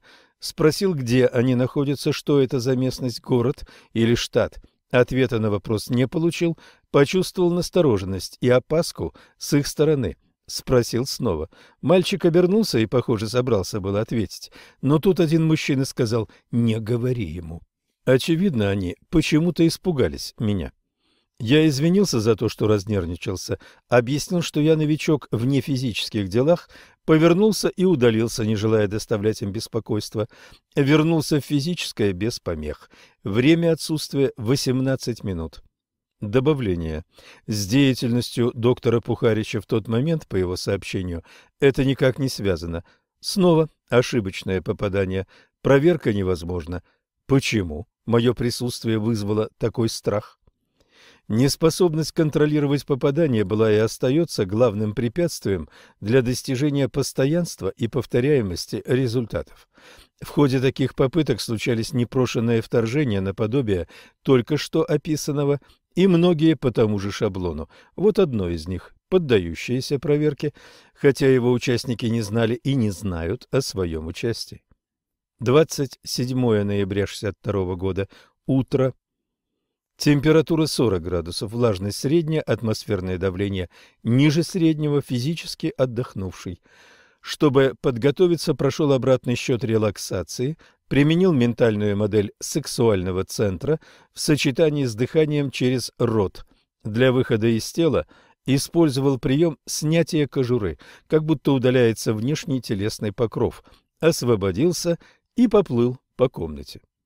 Собрался посетить Агню Бенсона, тронулся в обратный путь медленно, намереваясь по возможности более внимательно понаблюдать вокруг. Медленно прошел сквозь западную стену, ощущая текстуру каждого слоя материала, из которого она состоит, попал в другую комнату, обставленную как гостиная, затем в третью комнату тоже гостиную, все пустые. Тут скорость возросла, ничего не видно, кроме серовато-черной темноты, не прекращая концентрироваться на мистере Бенсоне, наконец остановился. Оказался в обычных размерах комнате спальни, где находились три человека. Справа стояла большая постель, на ней лежали двое взрослых. Рядом с постелью слева от нее на полу сидела маленькая девочка лет пяти-шести. Она посмотрела прямо на меня и взволнованно сказала, «А я знаю, что вы такое». Я как можно мягче и дружелюбнее, чтобы не напугать ее, спросил, «Правда? Вот хорошо. Что же я такое?» Нисколько не испугавшись, она ответила, «Вы астральная проекция». Возможно, она употребила другое слово, например, «призрак», но во всяком случае она определенно понимала, что это значит. Я спросил, где она живет и какой сейчас год, но она не смогла ответить, и тогда я обратился к двум людям на постели. Я старался быть осторожнее, чтобы они не напугались и не разнервничались, но, видимо, мне это не удалось. Я спросил их, какой сейчас год, но они, кажется, не поняли понятие времени отсутствует в сверхсознании. Я сконцентрировался на мужчине и спросил, как его зовут и где он живет. Он нервно ответил. Когда он заволновался еще сильнее, я отошел от него и выглянул в окно, чтобы определить местность. За окном видна была маленькая крыша, какие бывают над крыльцом. Дальше улица с многочисленными деревьями и с покрытым травой газоном посредине. К тротуару была припаркована машина-седан темного цвета. Я ощутил потребность вернуться в физическое и обернулся к тем трем, Спросил, не хотят ли они взглянуть, как я взлетаю. Девчушке эта идея понравилась, да и взрослые вздохнули с облегчением. Я применил прием вытягивания, пулей вылетел через потолок и без проблем вернулся в физическое состояние. Причина позыва вернуться – сухость в горле вследствие дыхания через рот. Добавление. Проверив по телефону, я установил эту семью по адресу, названному тем мужчиной. Удобно ли будет под каким-нибудь предлогом навестить их физически? Из приведенных примеров можно видеть, что для убедительного подтверждения деятельности второго тела в локале 1 потребуются гораздо более масштабные и систематические эксперименты. Одного исполнителя и нескольких подобранных для этого ученых и психиатров недостаточно. Следует также отметить, что на данной стадии владения вторым телом нельзя избежать посещений неподготовленных людей. Вероятно, путем бесед с ними можно получить много сведений о том, что они видели и чувствовали во время подобных непрошенных вторжений. Трудность состоит в том, чтобы потом их найти. Случаи вроде описанного выше, когда для последующего нахождения места посещения имеется достаточно данных – представляют собой исключение. Кроме того, было бы интересно по возможности фиксировать отклонения в восприятии вторым телом локала 1.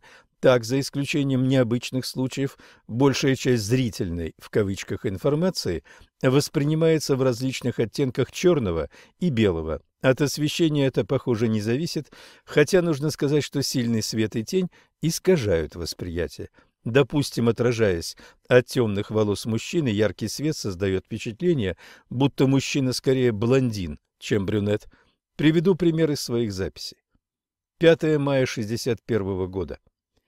Температура 60 градусов, влажность высокая, атмосферное давление среднее, физическое состояние обычное. Рано вечером после ужина, решив попробовать посетить доктора Пухарича, применил для релаксации технику дыхания через зев и с некоторыми трудностями достиг состояния вибрации с помощью приема вытягивания под углом 90 градусов. Применил простой ментальный подъем вовне, сконцентрировал ментальное желание посетить доктора Пухарича. Проделав короткий путь, остановился в комнате с книжными полками и длинным узким столом с несколькими стульями. За столом сидел и писал на листе бумаги какой-то человек. Он был похож на доктора Пухарича, только светлее, более белокурый. Я поздоровался с ним, он поднял глаза и улыбнулся.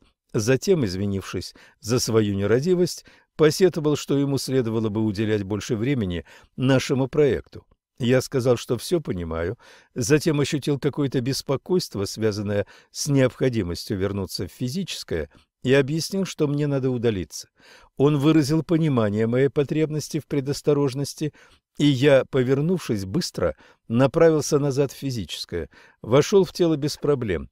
Правая рука затекла от лежания в неудобном положении, что, очевидно, и послужило причиной позыва вернуться. Добавление.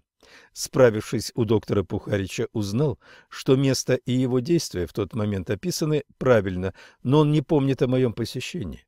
Яркий свет над головой мог создать впечатление, что он блондин. Сказанное тоже иллюстрирует трудность коммуникации. Доктор Пухарич, находясь в момент моего посещения в состоянии бодрствования и зная, что в отношении его предпринимаются попытки посещения, не сохранил в сознании воспоминания о такой встрече. Все совпало в точности, за исключением описанного мною разговора. Подобное происходило так часто, что стало предметом всестороннего обсуждения. Сначала было высказано предположение, что я фантазирую насчет таких коммуникаций. Я вполне мог просто вызывать из памяти на подсознательном уровне известные мне сведения о том, кого я посещал, и конструировать из этого подлинный в кавычках разговор. Однако после того, как подобные коммуникации дали факты, которые могла знать только другая сторона, эту теорию пришлось отставить. Еще одна трудность путешествий в локале 1 связана с фактором времени. То, что лучше всего глубокая релаксация, столь необходимая для вхождения во второе состояние, достигается поздно ночью, очень неудобно. По возможности использовать это обстоятельство вполне естественно, требуется меньше усилий, быстрее происходит отделение.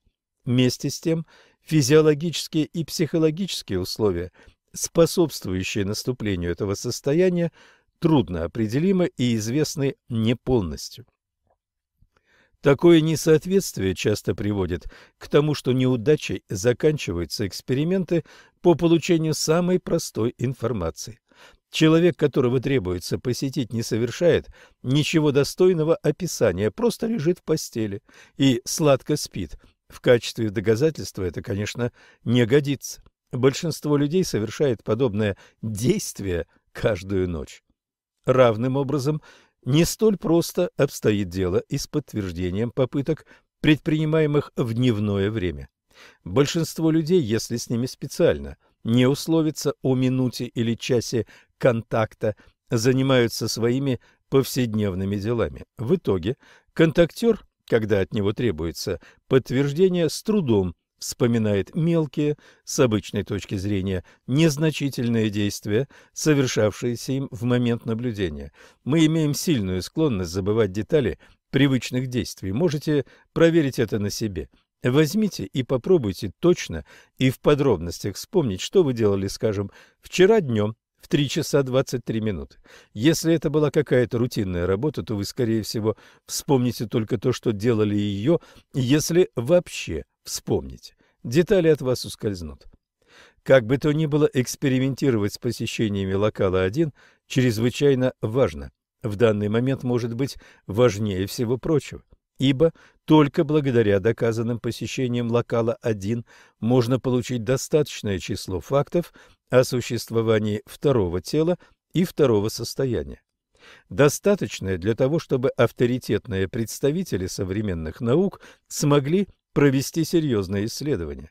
Только такое целенаправленное и масштабное исследование поможет совершить революционный по характеру прорыв в наших знаниях о втором теле и тем самым в фундаментальных представлениях о человеке.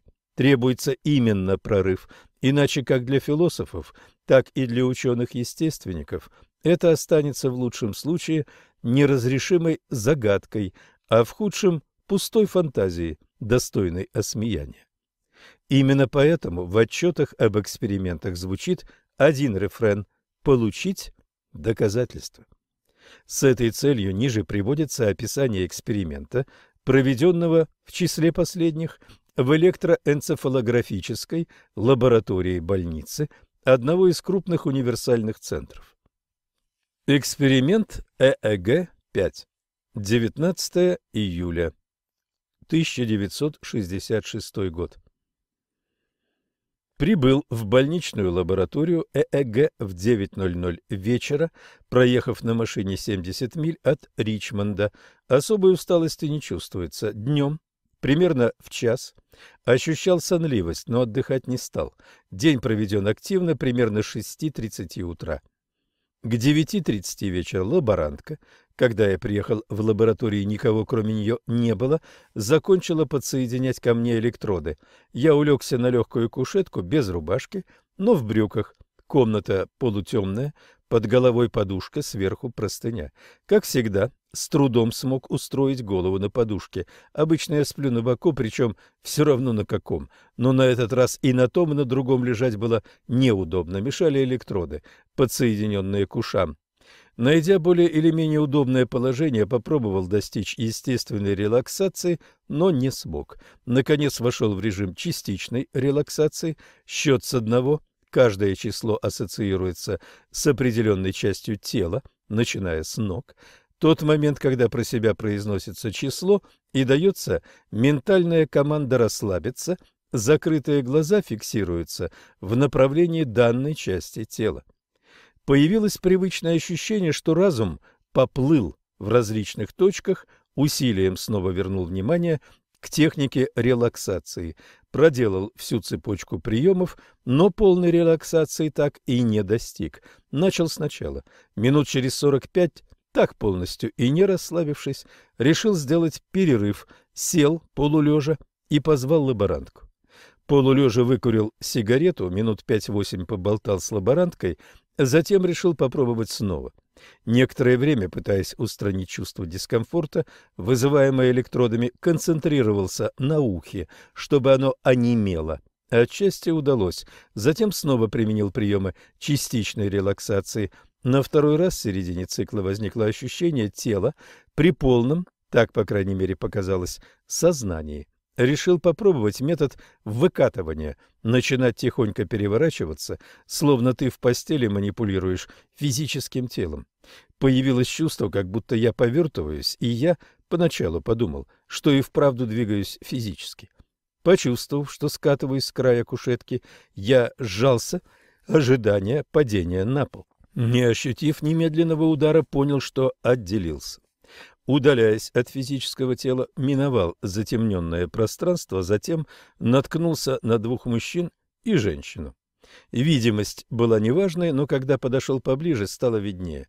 Женщина, высокая, черноволосая, лет за сорок, сидела на пуфике или кушетке. Один мужчина сидел справа от нее, второй перед ней, чуть левее. Все трое были мне незнакомы. Они вели разговор, но о чем не было слышно. Попытался привлечь их внимание, но не смог. В конце концов протянул руку и ущипнул женщину, совсем легонько, за левый бок, под самой грудной клеткой. Похоже, это вызвало какую-то реакцию, но коммуникации так и не получилось. Решил вернуться в физическое, чтобы сориентироваться и попробовать снова. Возврат физическое произошел просто, посредством одной только мысли о возвращении. Открыл физические глаза, все в порядке. Сухость в горле, сглотнул слюну, закрыл глаза, представил, как волной поднимается тепло, затем применил ту же самую технику выкатывания. На этот раз дал себе всплыть к потолку рядом с кушеткой. Затем медленно опустился, ощущая, как по мере движения вниз прохожу сквозь провода электроэнцефалографа легонько коснувшись пола, увидел свет, падающий из двери, ведущей в другую комнату лаборатории. Стараясь удержаться на месте, прошел под кушеткой, слегка держась пальцами за пол, затем горизонтально паря и, чтобы удержаться в этом положении, касаясь кончиками пальцев пола, медленно прошел в дверь. Поискал лаборантку, но не смог найти. Ее не было в комнате справа, где располагались приборы, и я прошел в ярко освещенную соседнюю комнату. Поозиравшись по сторонам, вдруг увидел ее. Но она была не одна. Рядом с ней был мужчина. Она стояла лицом ко мне, а он слева от нее. Я попробовал привлечь ее внимание, и она почти сразу ответила мне теплым всплеском счастья и радости, что я наконец-то достиг того, ради чего мы работали. Она была просто в восторге, и от счастья и восторга обняла меня. Я ответил тем же, при этом ощущался лишь слабый сексуальный оттенок, на который я мог почти не обращать внимания. Через мгновение я отстранился, мягко положил руки ей на лицо, обхватив ладонями щеки, и поблагодарил ее за помощь. Однако, кроме этого, никакой иной прямой разумной объективной коммуникации не состоялось. Попытки к этому сделано не было, так как я был слишком взволнован тем, что наконец-то достиг отделения и смог удержаться на месте. Потом я повернулся к мужчине. Ростом он был примерно с нее, курчавый, на лбу прядь волос. Попытался привлечь его внимание, но безуспешно. Тогда, после некоторого колебания, решил легонько ущипнуть его, но, сделав это, не заметил никакой реакции – Почувствовав, как что-то влечет меня назад, повернулся кругом, прошел через дверь и легко скользнул в физическое тело. Причина дискомфорта – сухость в горле и зуд в ухе. Убедившись в том, что совмещение полное и самочувствие во всех частях тела нормальное, открыл глаза, сел и позвал лаборантку. Она пришла, и я сказал ей, что наконец-то у меня получилось. Я увидел ее, но только с каким-то мужчиной. Она ответила, что это ее муж. Я спросил, не на улице ли он ждал ее. Она ответила, что там, а потом он вошел в помещение, чтобы побыть с нею, поскольку время позднее. Я спросил, почему я не видел его раньше, и она ответила, что здесь такое правило – посторонним нельзя видеть испытуемых или пациентов. Я выразил желание познакомиться с ним, и она согласилась. Лаборантка убрала электроды, мы вышли на улицу, и я познакомился с ее мужем. Он был примерно ее роста, курчавый. После короткого обмена любезностями я ушел. Я не стал спрашивать ни лаборантку, ни ее мужа о том, что они видели, заметили или почувствовали. Однако у меня сложилось впечатление, что это был именно тот, кого я видел, находясь в нефизическом состоянии. Второе заключение – Лаборантка в тот момент, когда я ее посетил, находилась не в той комнате, где приборы, а в другой, где она стояла с мужем. Но коли здесь действует твердое правило, что лаборантка не имеет права отойти от приборов, то доказать этот момент трудно. Подтвердить его можно лишь при условии, если удастся убедить ее, что в данном случае истина важнее. Единственное объективное подтверждение, кроме показаний ЭЭГ, заключается в присутствии ее мужа, о чем до начала эксперимента мне было неизвестно. Этот факт лаборантка может подтвердить. Важное добавление. В отчете доктору Тарту лаборантка подтвердила, что в момент зафиксированного прибором отделения она находилась вместе с мужем во внешнем холле. Она также подтвердила, что я не знал о присутствии мужа и не встречался с ним прежде. Доктор Тарт утверждает, что во время этих моих действий ЭЭГ зафиксировала совершенно необычные и уникальные сигналы.